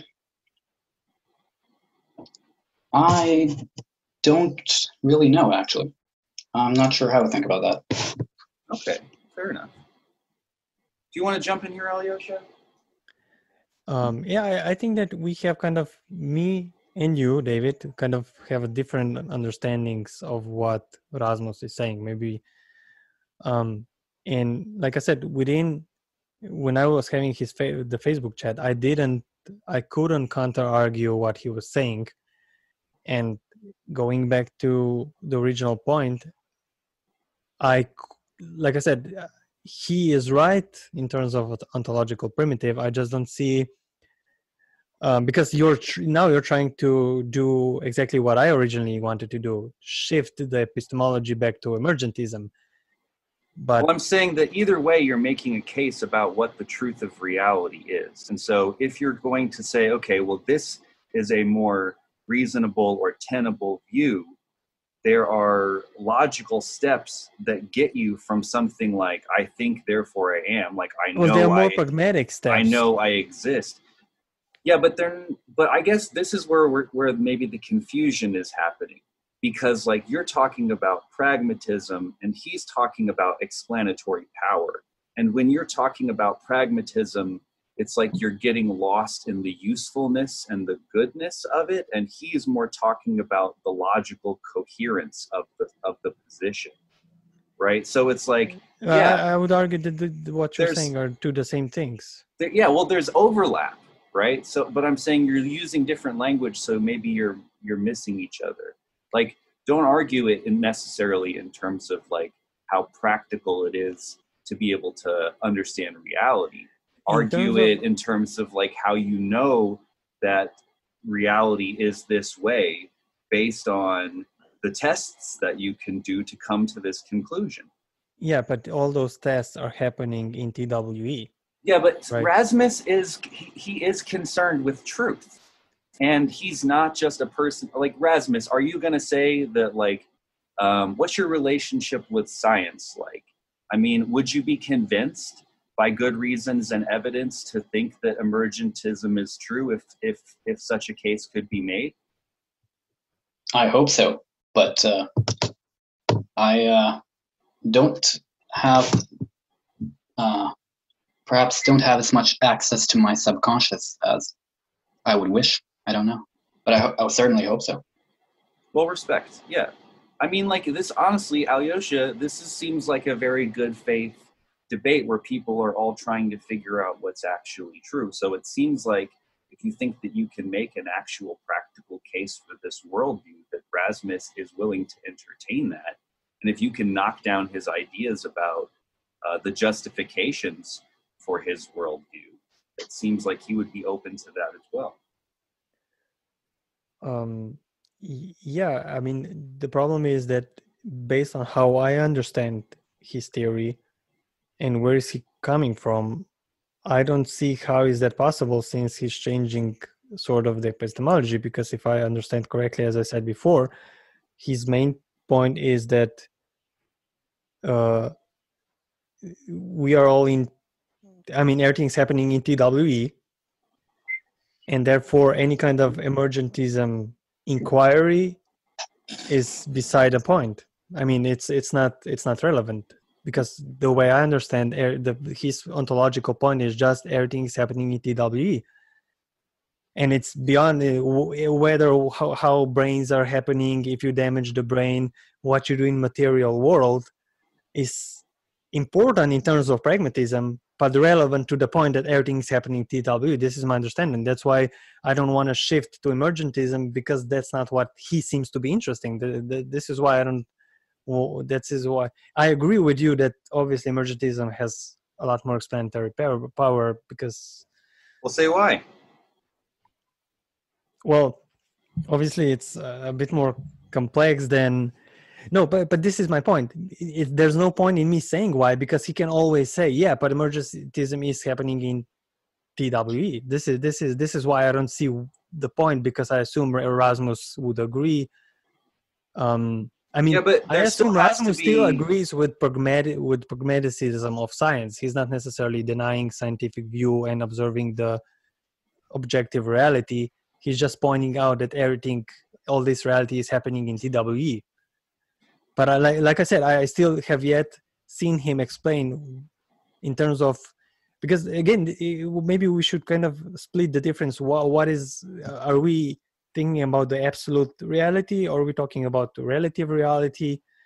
Um, I just I, I think he understands emergentist point of view. I, I think he's he's just talking about ontological primitive, and that's all he cares although he i seem i don't seem he doesn't seem like he's denying materialism in any way. He's just basically saying that all this thing is happening in tw so again i'm, I'm gonna give erasmus a chance to because i'm now defending erasmus. So erasmus please explain. And do you agree with my interpretation of what you're saying or do you think i'm wrong or? Um yeah I, I guess basically yeah you guess that you agree or you think he's wrong? I think he uh, represented my my view accurately enough. Well, okay. Well, how do you get here? I guess here's my question, if you don't mind me jumping in as the moderator moderator to try to keep this thing going. Um, how do you go from knowing that you exist, having an experience of consciousness, to then this bigger worldview. There are other steps, and you have to use logic, right? And is it just that it's more parsimonious? Is that the only reason why? Uh, so I infer it uh, to make sense of certain observations. Okay. And why why I infer uh, tr- uh, transpersonal mind uh, outside of our personal consciousnesses outside of our personal minds is because of uh, epistemological reliability and primarily parsimony, but but uh, epistemic reliability as well. Can you say more about the epistemic reliability? Yeah, so I, I can say that it's epistemologically more reliable to explain things in terms of what we know rather than in terms of uh, a theoretical inference that we don't know with equal amount of epistemological confidence. So, and you're saying because you know your consciousness, that then that becomes the more reliable way of knowing. Yeah, exactly. Well- it's, it's more reliable to infer consciousness because we know consciousness exists. It's more reliable to infer that then uh, than it is to infer uh, a reality outside and independent of consciousness. Yeah, but aren't you still assuming some things about what consciousness is? Isn't that like I mean, and I mean, are you really postulating other things when we do seem to exist in a shared reality with others? I'm not Like, I sure. I mean- Well, I mean, like we rea- like we're having this discussion. There are other people. You think that they're also conscious too, right? So to come to this idea that we're all, I guess, like ar- archetyped in the mind of God or something like this, right? Like dream characters in this in this like bigger consciousness. yeah, I like to- wouldn't. I wouldn't not. I would not use the G word. Okay, fair enough. Um, uh, yeah, so I mean, it, I I could understand why you would want to uh, to avoid that, but um, but like, yeah, so because you, is that because you wouldn't want to personify it? Uh, part, part, partially, yes. Uh, I don't know. I just think the word God has, comes with so much baggage, I suppose, and I suppose it can open up some, perhaps some interpretation that I would not agree with Yeah. uh, if it started being associated with that word. So But as far as the shared reality, I want to address that yeah. a little bit. Yes, I, I addressed that uh, in my uh, in my opening. So our shared reality in my in my model, in my framework, or in the proposed framework, uh, is explained uh, in a similar way that uh, it is explained in in a kind of physical realist model. It's just that what is that's outside of, of our current uh, of our personal consciousness that we come that we that we all perceive that we all experience uh, uh, that we that yeah that we all experience uh, commonly uh, is a is a reality is an exterior reality of purely mental stuff not mind external stuff uh, so it is mental states in transpersonal mind uh, that impinges on the dissociated al- the dissociated boundaries of the respective alters, in terms of which each of them experience and apprehend uh, that mental outside exterior reality. That's the claim. I'm guessing Aljoša would want to ask: Is there anything about the nature of reality itself that supports this view? Is that what you want to ask, Aljoša? Sure, yeah. Well, because that's the pragmatic claim, right? In terms of explanatory power, like if we, you know, like um, materialists assert, a- you know, like have basic fundamental assumptions, like we live in a shared reality that um, works, that's that's consistent whether I believe in it or whether you believe in it, and and that's how science works. It's because we can do peer review and we can refine together over time because things do work in a consistent way. That's how we're able to develop technology and all this stuff. So it does seem like just the fact that that science works shows that reality works in a particular kind of way. Now you can say that that's happening within mind, which I guess is what Aljoša is is saying that it's like you can use all the explanatory power you want and he'll just say it's happening within mind Yeah, yeah, yeah. yeah yeah um but what i'm asking is like is there anything about the nature of reality that would support your fundamental assertions about the you know to to like confirm like is there any kind of falsification or or or like tests that that show okay this this this uh, bit that i can of uh, this thing that i can point to confirms and, and demonstrates that my assumptions about reality are true. Well, I'm not sure that there would be any scientific tests that would do that. Um, Obviously. uh, but I'm not sure that I'm not sure how that would be relevant uh, since what's put forward is an ontology. Well, because if you're going to make an assertion, you have to back it up with evidence, or at least be be questioned. Like like if I because I've seen like these these Christians and, and some of them are like, I have a mathematical proof of God. It's like sure, just because you can make a a case that looks consistent on a piece of paper and it's like really nice and self-consistent, how do we know it's not a house of cards? If you can't test it or prove it or or demonstrate it in any kind of way that you can point to like i'm also curious like and i guess this this goes back to aljoša's other question about practicality right like if if ultimately what you're talking about is the same exact reality that aljoša is talking about but instead of just thinking oh it's just the universe in flux. You say the universe is in flux is just happening in mind and mind is just like this uh, way of talking about reality as it is and maybe you don't even postulate anything outside of that. It's just the container of reality is all in mind. Like what's the practical difference? Um, it, is there one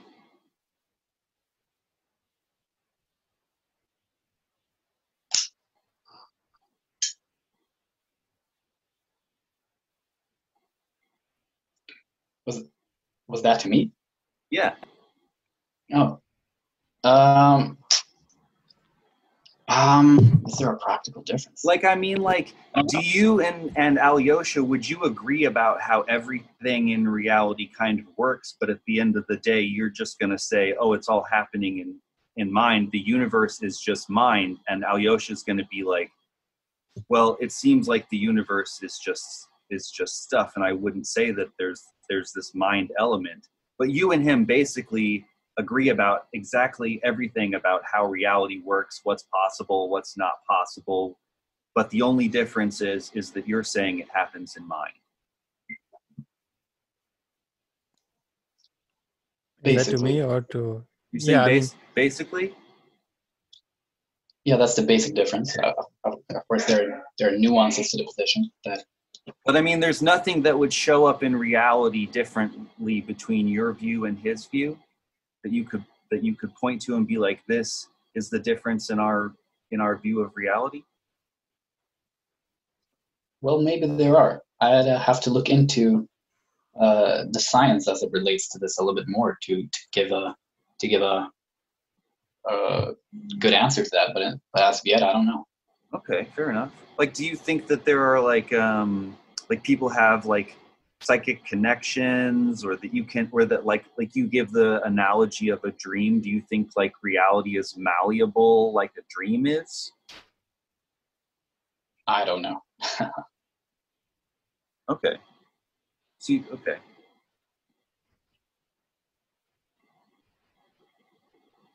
Okay, well, you guys want to do like some wrap up stuff? Like, I can give you both I guess I have some questions to Aljoša actually. Excellent, excellent. I don't want to rush you off, so yeah, go ahead. go Yeah. ahead still i don't i still think i'm, I'm not quite understanding the pragmatic point like what is it i don't i don't understand like are you are you basically saying like what is the point of it all uh, if it doesn't if it doesn't serve some some pragmatic utility is is that basically it? Yeah, yeah, sort of, yeah, because I don't see, I mean, besides stating the obvious, I don't see any practical applications, uh, only an interesting view that I happen to agree it's true, but beyond that, it's either a speculation, so in terms of global mind, um, yeah, so for me, it's kind of is a question of let's guess about some implications that this ontological primitive that uh, Bernardo is talking about has. But I, I mean, for me, it's almost more like a claim about maybe absolute reality versus relative, but l- when you- I would agree with what you're saying. Yeah, I don't see any pragmatic reasons in terms of trying to explain the world as we know it. Yeah. Okay. So just to be clear, you don't think there's something untenable about the ontology of idealism in virtue of it uh, perhaps not serving uh, some some pra- pragmatic utility. I mean, I have yet. Um, I mean, nothing you mentioned. Maybe you can give me another example. Maybe I didn't understand anything, but I, I like I said, I agree, but nothing you said really blew my mind in terms of if we view reality in such a way that I would say, oh my God, this totally like changes everything, right? No matter how you massage this ideological approach, at the end of the day, we are still forced to use emergentist point of view in order to have the best tools to understand reality. This is sort of my point because I Well- have yet to hear anything you're saying. Well, Aljoša, you're kind of an agnostic, right? That's what you're saying. And he's Yeah, I'm agnostic. Yeah, and he's course. making this extra claim and you're saying okay you're making this extra claim and yeah it may be parsimonious but you don't have any evidence to back it up and it doesn't bring any value to the table in terms of changing our view of reality. So yeah but i want to kind of circumvent because this kind of circumvents the problem of evidence right? Because there's no exterior evidence to point to right? It's objectively true to say that everything is in twe and no matter how much you massage material world that's not going to circumvent the point that it's happening in twe right? So And- this is do why i'm arguing he's kind of changing the epistemology because there's no exterior epistemological research you can do because it's beside the point. point and as an agnostic though would you say it's untenable to make this extra leap or this extra claim? Especially Um, if you can't back it up with evidence? Is that your position? I mean, I like I said, I agree that everything's happening in TWE. This is a fact. So I agree with that. What is untenable, in my opinion, is why I mean there are two things that I feel are untenable in, in this view. First, what happens after death?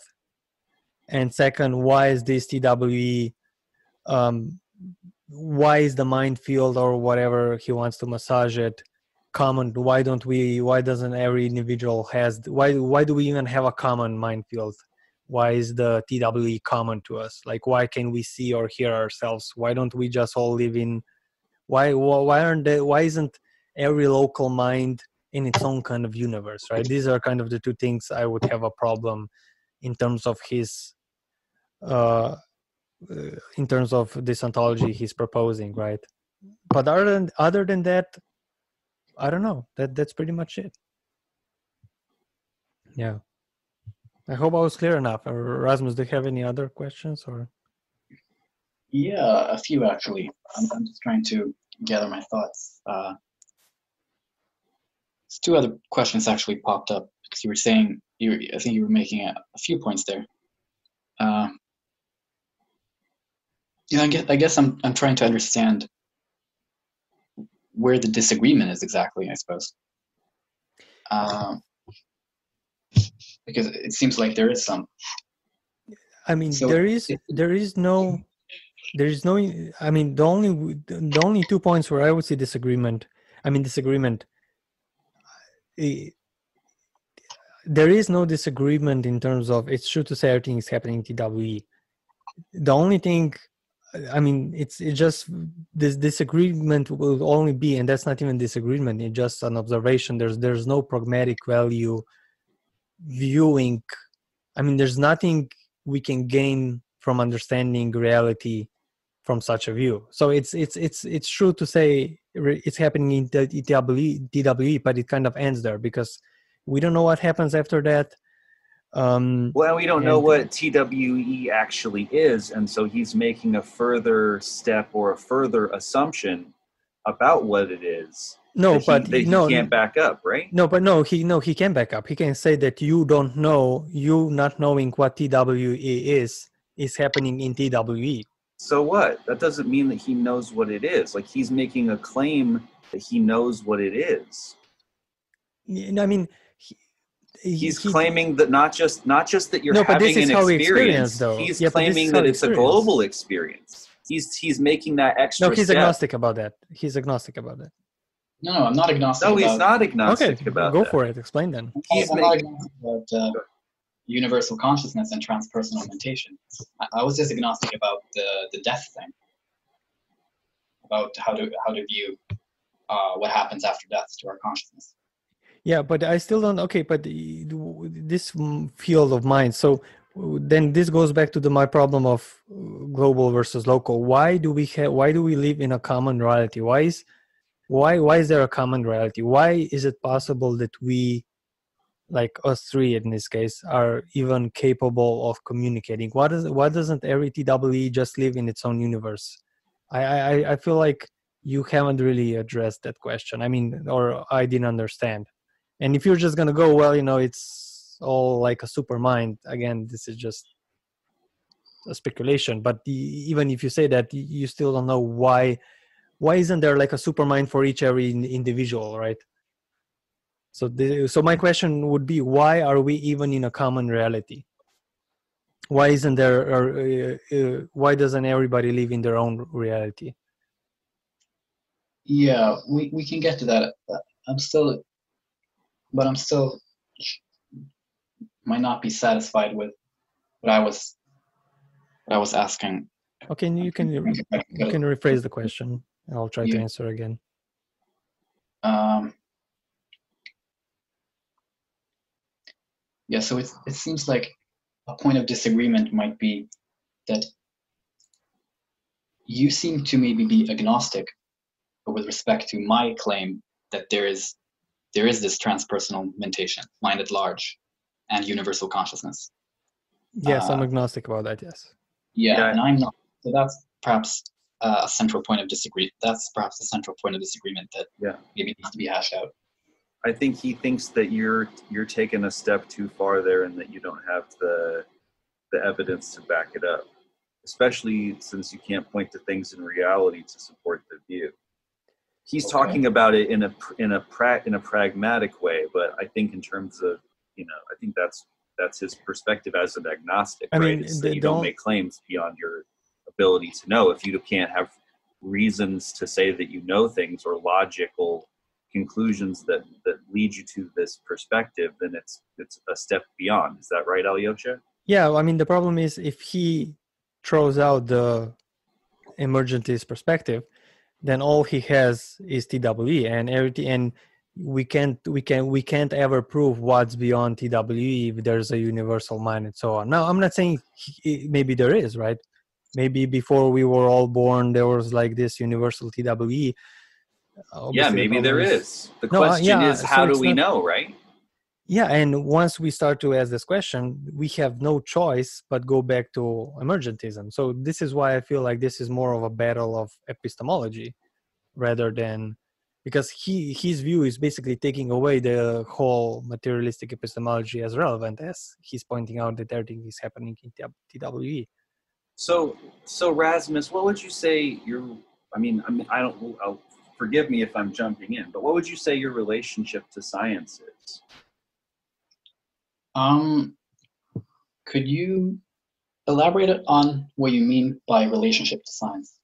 I mean, like, do you feel that you have to have, um, like, good reasons and for to to like hold your ideas? Do you test your ideas to see if they stand up with evidence? Do you try to falsify ideas? Um, even like, um, yeah, even logically, if it's not something that necessarily you feel like can be can be tested like empirically, like science in a broad sense. Like, um, what what do you think about what Aljoša is saying about? Um, it seems like Aljoša has this idea that like you'll kind of agree with with a lot of science, but you'll just frame it as just happening in uh, in consciousness. But do you Um, feel like your claims about about the nature of reality and consciousness also have to be in accord with science? Yes, I think so. They have to Okay. be in. Um, okay, so going back to my, my question to Aljoša, uh, wh- I'm trying to think how to phrase my question. So I guess what what would be your I'm not, still not I'm still not clear on what your objection would be uh, with regards to my claim uh, that there is transpersonal mind beyond our personal minds. Like I'm not, I'm not sure Well, I haven't that is. I haven't heard any sufficient. I mean, maybe there's a there's a difference of under. Maybe I didn't quite understand your argument, but basically I didn't hear any convincing, at least for me.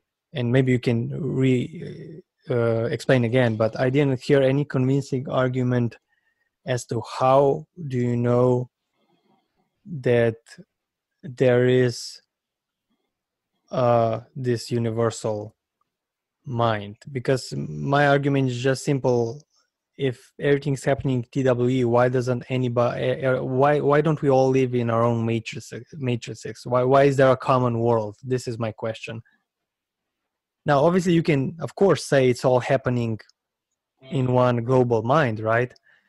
But I mean, this is again, you're making an absolute claim that nobody, I feel, can back up. Whatever you're gonna say, obviously, you're not gonna throw materialism in the or emergentism in because that's irrelevant but I, I i don't see how you can go beyond the fact that it's true to say everything is happening in twe but anything beyond that how is this uh, to say well and twe is this global mind or whatever then you need to explain the difference between life and death in my opinion because i would assume this is where one would pass from local TWE to the global one. So being dead in if I understand your your explanation is that once you kind of disassociate, you become you go back with the global mind.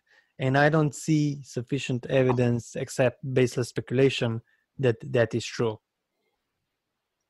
Well, he doesn't even. If correct me if I'm wrong, Rasmus, but you don't even necessarily. You said you're agnostic about whether you just as a separate sort of archetype dissolve or whatever, versus whether you maintain your individuality. You said you're not sure, or whether you. So would you say that it's like that? That you dissolve back into the source or something like that? You're Uh, not I would- sure. I would not say that. No, I'm I'm not sure because to me it seems like to say that it that it continues in some uh, it continues by by dissolving into some meta mind or universal consciousness. It seems to presuppose a continuance of of a separately existing entity or separate self that has continuance over time. Do you think that consciousness on this global scale um, exists outside of reality as we know it, or is it reality as we know it? It is reality as we know it. Is there an is there an outside, or is this it? Uh, when you say reality as we know it, are you talking about like the physical universe? Yeah. Yeah. Like, So, yeah, my claim is that transpersonal mind is, in some sense, outside of the external universe, uh, but it corresponds to the external universe as a whole. Its mental states corresponds to it. It is the, the external universe is the phenomenal representation of mind at large. Just like in the physical realist view, our, our perceptions of the external universe is a phenomenal representation of mind external of a mind external reality. In my view, it is a phenomenal representation of transpersonal mental states in mind at large. so is is mind at large something like a like a brain in a vat somewhere? Or Mm, is there no or is is there an outside like that in which this mind at large exists? is there or- an outside in Or which is mind is or is mind at large just the universe? the universe as a phenomenal representation is is a is corresponding to the transpersonal mental states in mind at large. That's my claim. And uh, universal consciousness is the ontological primitive. Mind at large being the uh, the part of universal consciousness that is not a dissociated alter. Does mind at large need dissociated alters, as you say, to experience things? You mean does universal universal consciousness need need that? Yeah, is it like yeah, is universal consciousness just this kind of like floaty floaty stuffs in, in like a transpersonal realm that needs like like like a radio signal that needs um what did you call them some kind of dis- dissociated alters or something to um, exist through? How does that Uh, work? No, uh, I don't think so. It does not need associated alters to exist, or no. Okay. Uh, so I think we got a little bit sidetracked there from what I was trying to uh, get from Yeah. Aljoša. i'm sorry i'm just really curious about this view Shoot. Uh, yeah. So would your kind of objection then be a scientific one that I that I perhaps cannot justify uh, my claim of transpersonal mental states and mind at large scientifically? Would that be your objection, Aljoša? No, No. not necessarily. No. Then I'm not. I mean, if you're referring uh, scientifically in terms of looking at emergentism, no, because obviously science, science does science won't prove anything since everything is happening. Everything is a representation in consciousness. I'm just saying that. Um. I mean, again, th- th- this is the problem where I feel. If we don't know, I'm just trying to picture because uh, we're basically we can go to infinite regress because i can uh, just say well what's beyond the global mind right so, So let's is it- say is it not because of the fact that it's you can't prove it with science it's because you're making claims about things that can't be proven period i'm i'm just arguing that it's it's impossible to prove or disprove his claim. And beyond that so basically my uh, what i would say is it's impossible to prove and, or disprove his claim. And in terms of trying to understand the world the best we can all we have even if we agree on the fact that everything is a twe all we have is pragmatic em- emergentist view in terms of understanding things in twe that happen. Um, and beyond that even though it's true that everything's happening in tw everything beyond that what happens after you die or if there is a global mind i think this is just a speculation. Because i, I assume that we were all global mind and then we were in, born in however that happened or i mean consciousness things just started to appear in consciousness. So from global mind we went to a local mind. Um i mean it it's it's possible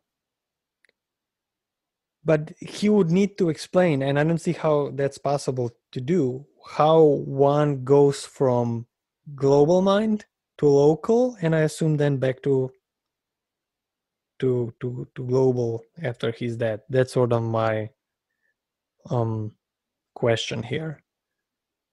But that that but even in this question i already kind of presuppose still kind of emergent emergent emergentist properties but in in in reverse in kind of subjective way.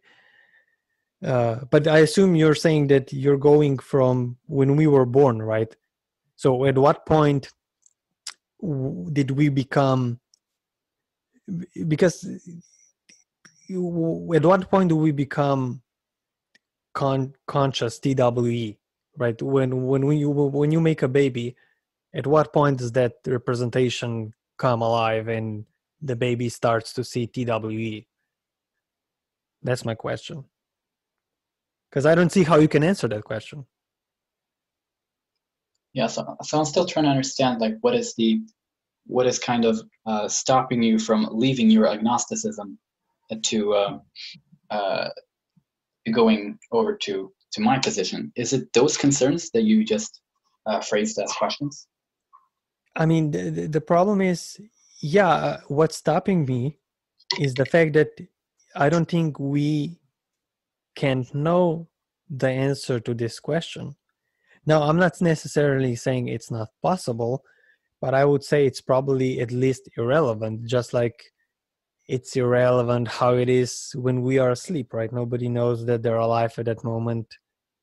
Um, so if we kind of, let's say, and maybe I can ask you what's the difference between before being born versus being in a deep sleep state? What's was there? I mean, I don't see how you can how you can differentiate these states of mind. Um, because I I don't see how you know that there is a global mind, and this is what's stopping me, and that's why I'm agnostic. Because I, I I didn't hear you have a sufficient explanation, and I don't see how you could how you could have a sufficient explanation. So that is what is stopping me. Yeah. So are you saying, Aljoša, that if you want to be more than agnostic, you have to have good reasons and evidence or some kind of sufficient explanation? Yeah, but I but from where he's coming from, it's impossible to get that from emergentism. So, but, so, so all he has is basically speculation.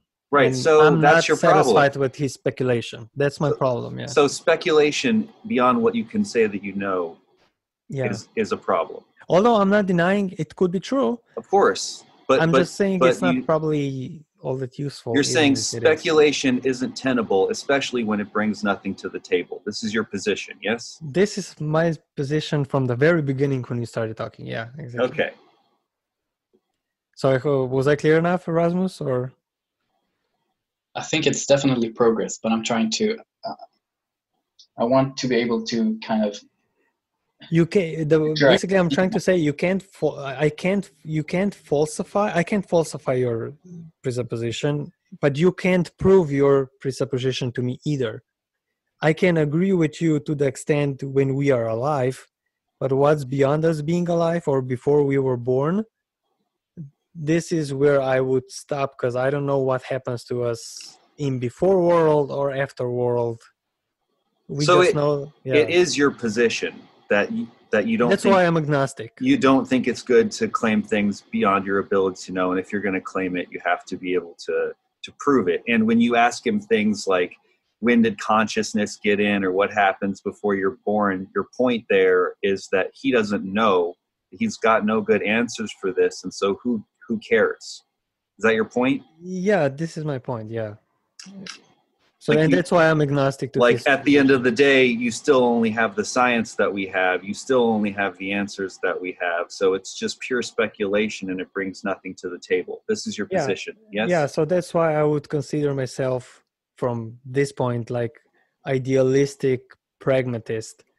Idealistic in um, and let, let's not get get me wrong. Idealistic in in terms of that I agree with Rasmus that everything is in TWE, but pragmatist in terms of how we understand reality because using TWE beyond our experience is just a speculation. And I haven't heard a sufficient argument, and I don't know how Rasmus would get to that argument, and that's why I'm agnostic. I agree with him in this life, but I agree before life or after life or global mind. I, I'm agnostic about all those other things. If you're interested Ali, you guys i could tell you where i part ways with aljoša. For the record if you want to know. I like i am a hard agnostic about the absolute truth of reality. Like it could be all in mind like you know like like you're saying and i, I agree with him about that. But i think the fact that uh, emergentism is true is an objective fact. And like it's different to say that consciousness arose. I mean, who knows? Maybe you know, like it could be, or at least at least in terms of of our relative reality, I would say that that is like a, a fact. Like evolution is a fact. You could subsume it, you know, under the the banner of uh, idealism.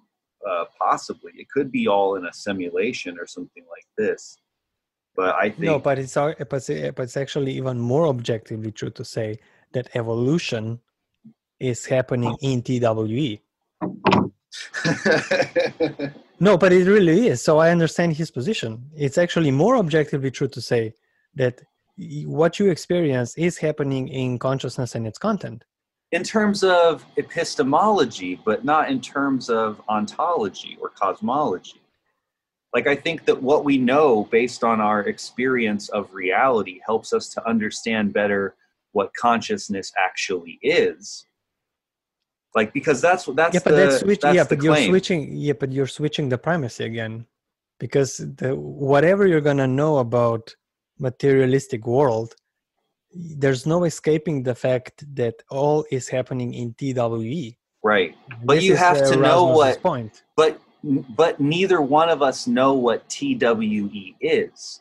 And so like that's the project is is trying to figure out what consciousness actually is. Just having the pure experience of consciousness doesn't tell you what consciousness is. To try to but figure out what consciousness is, you have to like you said figure out how it emerges. And then yeah, but yeah, but that would still be a representation of consciousness. That wouldn't necessarily give you an answer of what consciousness is. I assume that was that's something Erasmus would say. It's just my speculation. Well, at the end of the day, we both have to come up with a with a reasonable argument for what idealism actually is. And I'm just gonna, and I just, um, my point is that I think emergentism has and a realist cosmology has more explanatory power than idealism. And we could, you know, we could make those arguments, but we'd have to really explore the logic to, to, to, to set up these positions and everybody would have to put their cards on the table and it'd be yeah be like this whole thing you know but you, but aljoša is coming from a perspective that's more like um, even more agnostic uh, than me it seems because aljoša uh, isn't necessarily even going to be sure enough to say that it's a realist material reality. Is that right, Aljoša? Um, I think that I agree with you in terms of that the best. Pro- if I had to s- speculate, what would be the best way, or where is maybe key to understanding consciousness, it would probably be in such a world. But I would then again assume that whatever we find, let's say there's some quantum thing, whatever. Yeah, is, yeah. that quantum thing is still in consciousness and there's like it's a never ending loop in a way so it, i mean is is is it even tangible at this point and we know that quantum physics is also spooky so um Well, we might have to debate this later in a integral review. Maybe that um, the one with Sam Harris's wife. yeah i just but um that's interesting, I think, to to explore the differences between our perspectives as well. So consciousness is uh it's it's it's it's quite a mystery um, I'm and- sorry if uh, if as the moderator and host I've butted in too much. I've just wanted to try to help bridge the gaps and keep the conversation. but do you do you agree with my points rasmus Um, but is is your basic point that uh, my step beyond agnosticism is Ill- illegitimate uh, in virtue of the absence of of scientific substantiation, a reason for, for inferring it, or something more than scientific? um can you can you repeat the question i didn't quite Yeah. understand So, you remaining an agnostic yes uh, is that uh, because you're uh, you're, reje- you're you're rejecting the scientific uh, uh, No, as no, opposed as opposed to what? no, I'm not rejecting scientific because again, this is switching the epistemology. There's no, I, I think science doesn't even come into play in based on how I understand your argument. I'm just saying that there's no way for us. Again, th- this is the problem of, with dimi- dimensions, right? So we are in this space-time dimension, or space-time dimension is in TWE, but I still don't know what happens before or after one dies or what is beyond TWE. Now you're saying is global mind, but again, this is where I kind of uh, throw my poll in and say I I'm not sure about that. That would be my argument. I hope I, I sufficiently answered. Um, so I hope I uh, I answered enough. I'm sorry. Could you could you repeat it? Repeat it again. Yeah, Uh, I'm just saying I'm not disagreeing based on scientific basis because I feel that based on how you're saying, scientific basis is irrelevant, right? The question is, I just don't. I agree that everything happens in TWE, as I said, but I don't know what happens before or after you die with TWE. Now it's totally possible that we all that local TWE disassociates back to the global one. I'm just saying you or I or anybody don't have enough And evidence saying- and it's even impossible to get evidence obviously to go to any higher conclusion than to agree that TWE happens here and now in terms of local but anything beyond that for me there's no scientific nor idealistic claim that would make me believe in any other way because agree with science you scientific and science doesn't can't measure it, right? It's Yeah, exactly. because so it's like to say a scientific reason, but there's not another way to measure it either, right? So is there is there Rasmus besi- beyond a scientific way to know? Is there another way to know? Yeah, I think science isn't really relevant here because uh, I don't think we can know scientifically whether there's a mind external reality from which mind emerges or if there's a transpersonal mind that uh, dissociates into our experience. Uh, so I think we're going to have to use some other criteria, and those are the, the ones that I've mentioned. That's Cool. my art. Can you say more about what that looks like? Like like how you know if not scientifically? Sorry, I didn't quite get the question. Well, you said, okay, we can't know scientifically because science can't measure that. So it's like, well, how could we know? Like, what other ways are you knowing? Are you are you getting to this conclusion? I, I still don't. I'm not really firm on how you're saying that you know. Yeah, I'm saying that we that we can legitimately infer it, not know it, but that we can legitimately infer it uh, based off of it explaining our our common experience and some other observations of our of how we experience reality. It may uh, to infer something outside of our our our uh, personal consciousnesses is necessary in order to make sense of those things and to explain those things. But my claim is just that, again, to infer mental stuff outside of our personal consciousness is uh, is better than inferring uh, some something outside mind. Okay.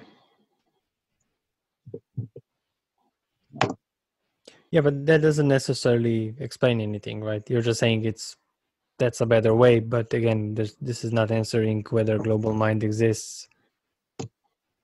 Well, Right. and also, isn't doesn't aren't you like seeming to like find the things in reality that you're saying that explain it like that you're just ref- like it, it could be said at very least that you're just reframing those things in a way that work in terms of your narrative and you're um, disregarding things that don't fit inside your narrative neatly like the idea that if you damage a brain that parts of consciousness are are lost like so how does how does that work yeah, maybe we should get to that then. Uh, so, so my claim regarding that, and the more general claim reg- regarding uh, changes in, in, in, in, in the body-brain system affecting mental states. Um, my explanation for that under my framework, or under the proposed framework, is that um, um, the change in the body brain system as a phenomenal representation of uh, of mental states in the dissociated alter uh, impinges on the dissociated boundary, affecting the states of mind at large, which will in turn affect affect the mental states of the alter. So that's the explanation under the framework. I don't understand. Maybe you can explain it uh, to me again. Is this and let me and what would you say to somebody who said that you're just reframing things under in a new way of thinking about it without any um, solid foundation to say that, that that's the, the truth of the matter or way of testing whether it, it is or isn't? I think we can't test either way. So I don't think testing is relevant. So is it just a which is it just like a matter of which narrative you like and then you think that there neither one of them are, are more more well founded or more supportive than another? No, it's about which one is more supportive, but it's it's not a matter of which one necessarily which one is more founded scientifically. Uh, it, but the parsimony in the epistemic point is what, in my view, seals the deal in framing it in terms of a mind only view of reality rather than uh, a physical realist uh, invoking physical realism into this. And that's just because it's got less steps. Uh, that and and the epistemic point, because I think there's more than the steps or what I say is is parsimony. I think there's more more to parsimony there because I can say it's epistemically more reliable to to explain things in terms of what we know rather than in terms of of uh, what we don't know, that being a reality outside consciousness. But, but I think that's a little bit different but than parsimony. Isn't that kind of like a, like starting from within the assumption that your worldview is true and then saying, oh, we don't know that there's anything outside of consciousness, but we all experience a world outside of our consciousness. And, and it seems like you're just, you're starting from a position where you're assuming that that world is just in your consciousness and that and you're not even considering the possibility that it might not be and then weighing the two views against each other. It just seems like you're saying oh well it's it's an extra step. So um, and then you just frame reframe it in terms of your narrative. And then and then it's it almost becomes like a form of begging the question or circular reasoning or something like this. So, what is the question that is being begged? well i mean you have this unstated assumption that the nature of reality is happening in this larger mind. And so then you reframe um, the reality that we all experience as um, un, as unknowable when it is clearly a factor in like so like basically you're starting from an assumption about what consciousness is and about what reality is. And then you frame everything in terms of that narrative. And then when someone says well we can't really know that that uh, this is true. And when we look at these these factors this makes sense in terms of explanatory power. Then you just go no in my narrative um, matter isn't real and so that stuff doesn't count. So it just almost feels like a language game that you're playing as opposed to um, having a, an open consideration of all the possibilities and then weighing them against each other No, I think the epistemic foundation does not make such assumption, assumptions. I think the epistemic foundation is is uh, is an agnostic one. We build up from there. We're just saying that we don't know anything outside of our our, our, our own consciousnesses. So So There's how do you? But then how do you get from there to this idea of metamind? I mean, if you just stopped there, and said we can't know anything outside of our consciousness, as soon as you say that I know that we exist in a shared reality and I and I know that other people are conscious too, now you're in the field of having to figure out what consciousness is and and how we can know and you're going to have to do that through like navigating reality and using logic to come to conclusions and testing those those assumptions. You don't just get to um, build a like like for example can you imagine the possibility of like um, someone like building a, a, a model of reality let's say right? Like i want to build a, a reality that's a, like a a simulation of a model of reality in my computer. If i come up with a with a model of reality in my computer that works within itself that's self-consistent does that mean that it's a that it's actually a model of reality? Like just because you've created a narrative that seems to work within itself like there's still the question of okay but can you correlate that map to reality in some kind of way where you can test it and prove it? And what it seems like your way of getting out of that is is to be like well it's all it's all happening in mind and so uh and so we can't really prove it but we're not making any extra steps. But it's like you're sort of you're sort of starting from an assumption about what re, what reality is actually in the first place um, just because you can only experience your consciousness. But that doesn't mean that we know what our consciousness is or that we know what reality is. If we're going to interpret it we still need to use logic right? Sure, I think I am, but but I, I'm not sure. I'm not sure I followed all of that honestly. i'm just saying how do you know that this narrative that you frame things in actually maps to how reality is Um, because it's it, it's basically the parsimony point and the epistemic point. It's it's So, the- the- so if you create a map that's self-consistent, then that means the map is is is like a map of reality. if it's self-consistent and parsimonious and epistemologically more reliable, and then all else held constant, then yes. How how could we know if it's epistemologically more reliable? Because we do not know what is outside of our personal consciousnesses.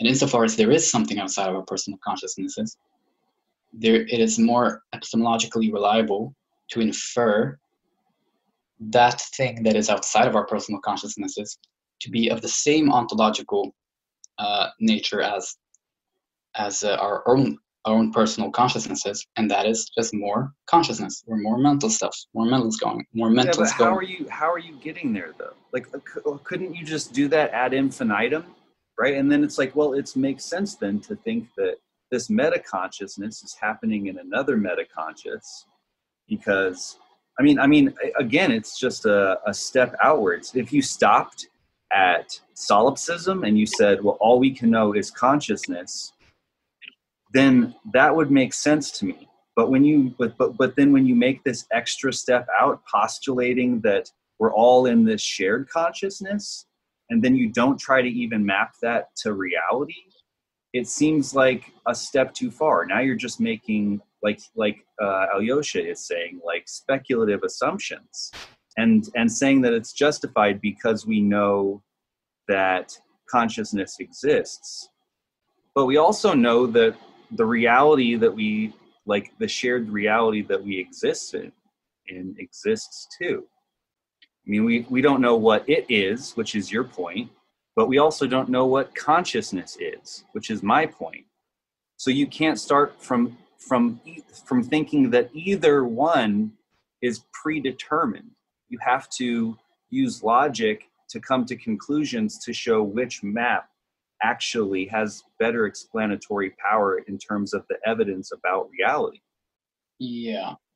Um, This is, I think, what way am I not using logic?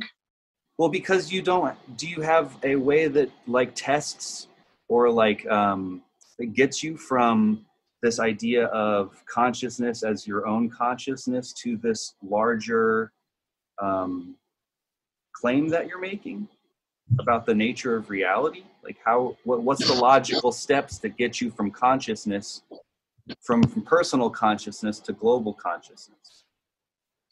Well, it's because what is the alternative? Right? The alternative is to infer something less parsimonious, something less epistem- epistemically reliable. How I don't understand when you say that it's less epistemically reliable. Can you, can you say more about that? Yeah.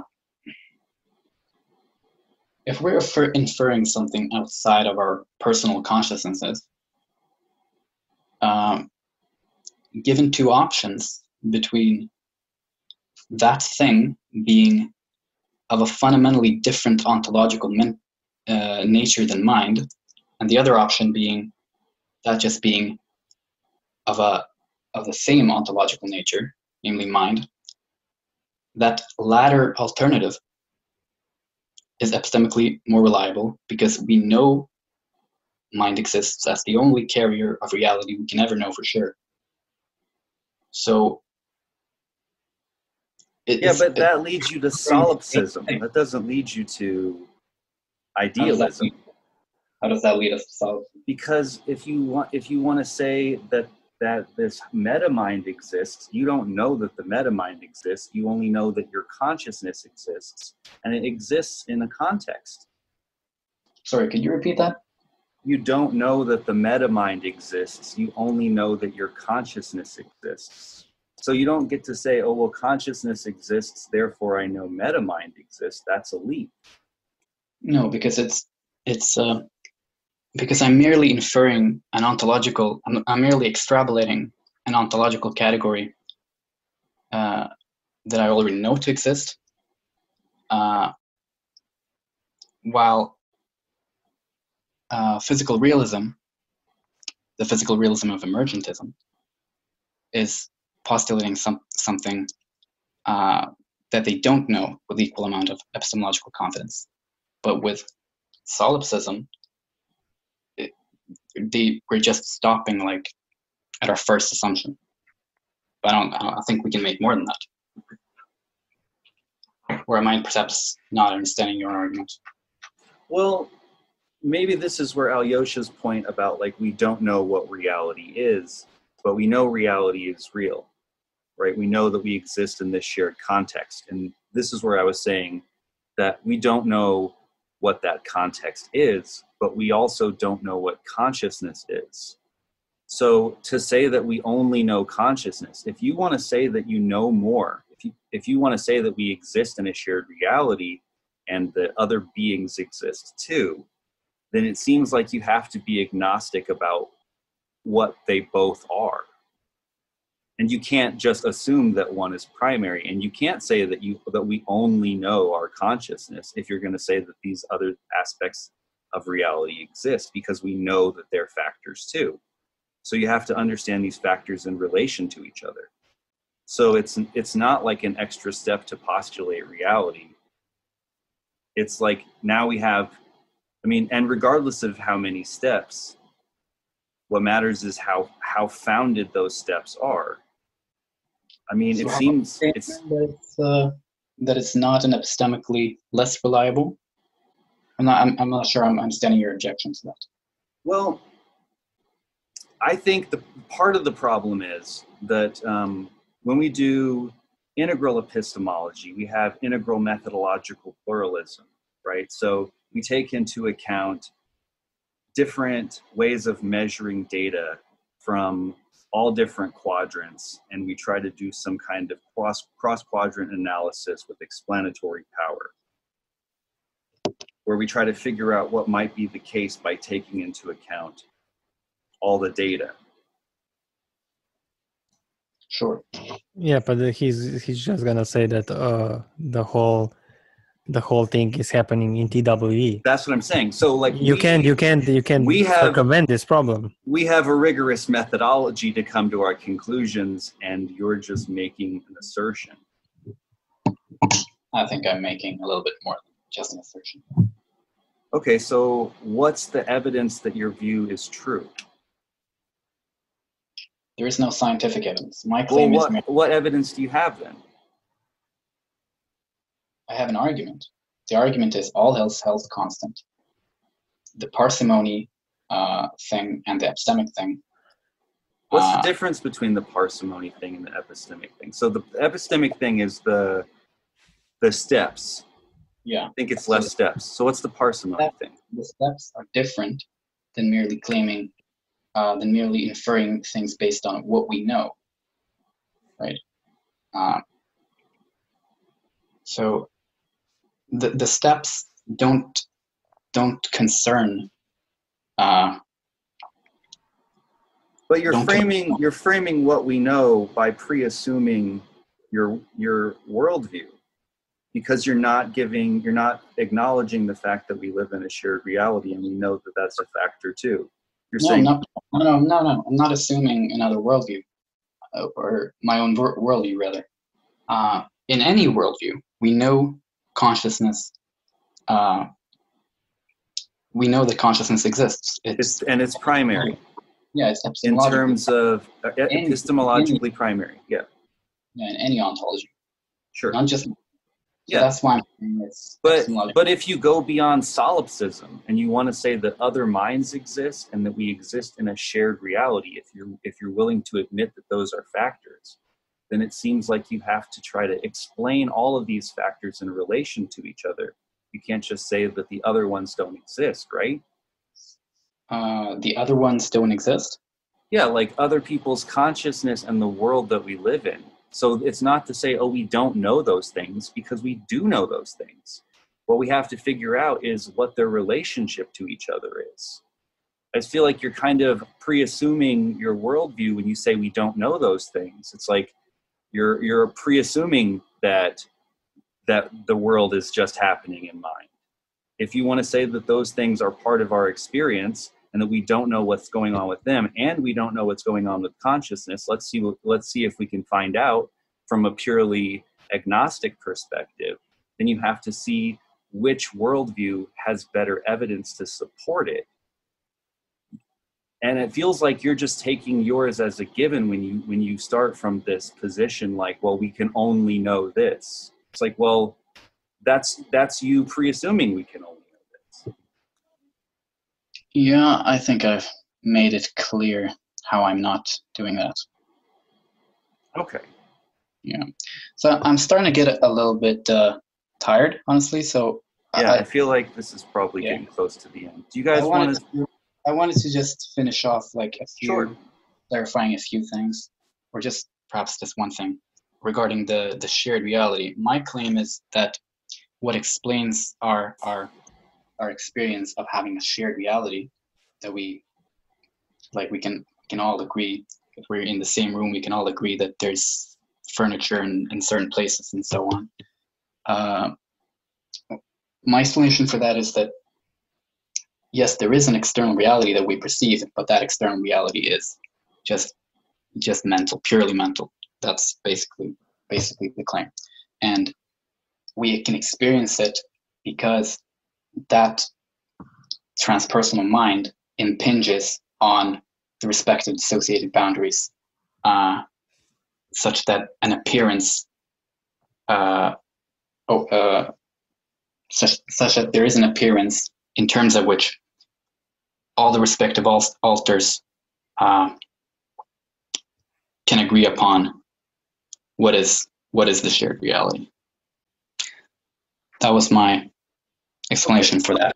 Well, let's do let's do closing statements, and um, let's see. Uh, I guess who wants to go first on that? Who do you actually maybe? Um, Rasmus, you should go first, and then since you opened up, and then we'll give Aljoša the final word, unless you want to flip it around, however you guys want to do it. Okay. the the the overly loose moderator. I'm sorry. My first time moderating. Yeah. Uh, okay. Uh, shall I start? Sure, go ahead. Sure, yeah. Yeah, so I conclude this debate um, by saying that I did not uh, perceive a reasonable objection to my main argument, the parsimony argument. I think it still stands that all else held constant because my ontology is favored by uh, epistemic reliability and parsimony, uh, that my theory or view, regardless of its theoretical speculation, it still is better theoretical speculation relative to an emergentist one, an emergentist uh, theory. Uh, and the prag- the practical, the pragmatics point regarding that one. Uh, see how what I think about that. Um, I'm not making any claims uh, regarding its its utility as of yet, scientific or otherwise, in terms of in terms of what it can aid in our understanding. Um, and while that's an interesting question, I think that is uh, an, a meta discussion, an interesting meta discussion, but but an interesting, but a meta discussion nonetheless. And uh, the main point that I was primarily concerned with defending in this debate, I regard as still standing uh, in virtue of my argument. And with that said, I think there is still interesting territory to to explore regarding the uh, the practic the prac pragmatic stuff, uh, and I'm look forward to to continuing to explore that, and I also can look forward to continue to explore uh, how my ontology stands up with what is perhaps the the scientific testing objection as well.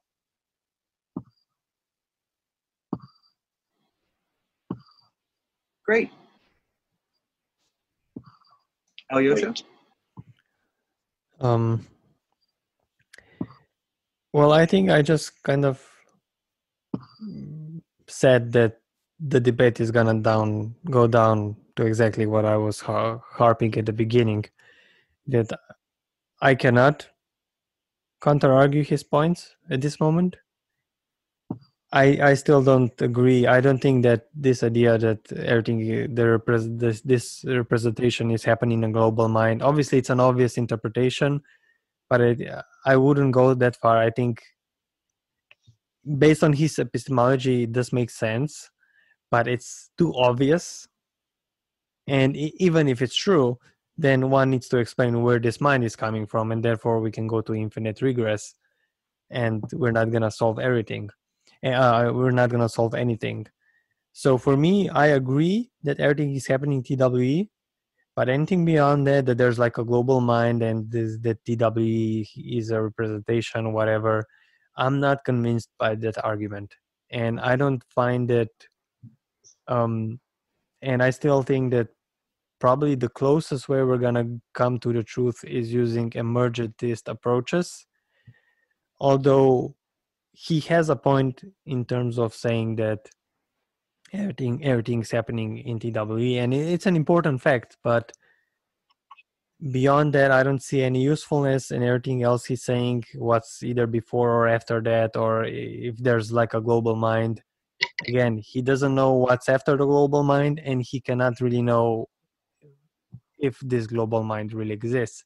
For all we know, we can be in some kind of a supercomputer I mean, it's it's impossible to say. Um, but I cannot refute his points, and I agree with at least the local TWE part. But I don't agree with the global part. That's sort of my. And I still think we, at the end, will probably be forced to be materialists until maybe some further quantum or whatever, whatever findings may make a, maybe something completely different. Maybe there's a third way we're not aware of like maybe there's a four dimension you know we only know three dimensions something that neil degrasse degrassi degrassi tyson asked himself. Again i think it's more what erasmus doing is basically just making some logical speculation based on his epistemology in terms of what higher truth will be. But again i just feel like it's a very straightforward logical interpretation but i, I i'm not convinced. And that's sort of my end statement here but I, I admit that i could not refute his points and i agree with local twe Thank you, gentlemen. Both of you did great job being civil and being reasonable, and I have a lot of respect for both of you for stepping out onto the public stage and having this conversation together. It is a great boon for our community. I hope that it encourages further debate and further conversations around these topics. Thanks to everybody for listening. Make sure you like, share, and subscribe all that good stuff. Support me on Patreon if that's a thing you want to do. Look in the description for ways to follow Aljoša and Rasmus. See if I can get their information. And thanks again. Peace. Peace. peace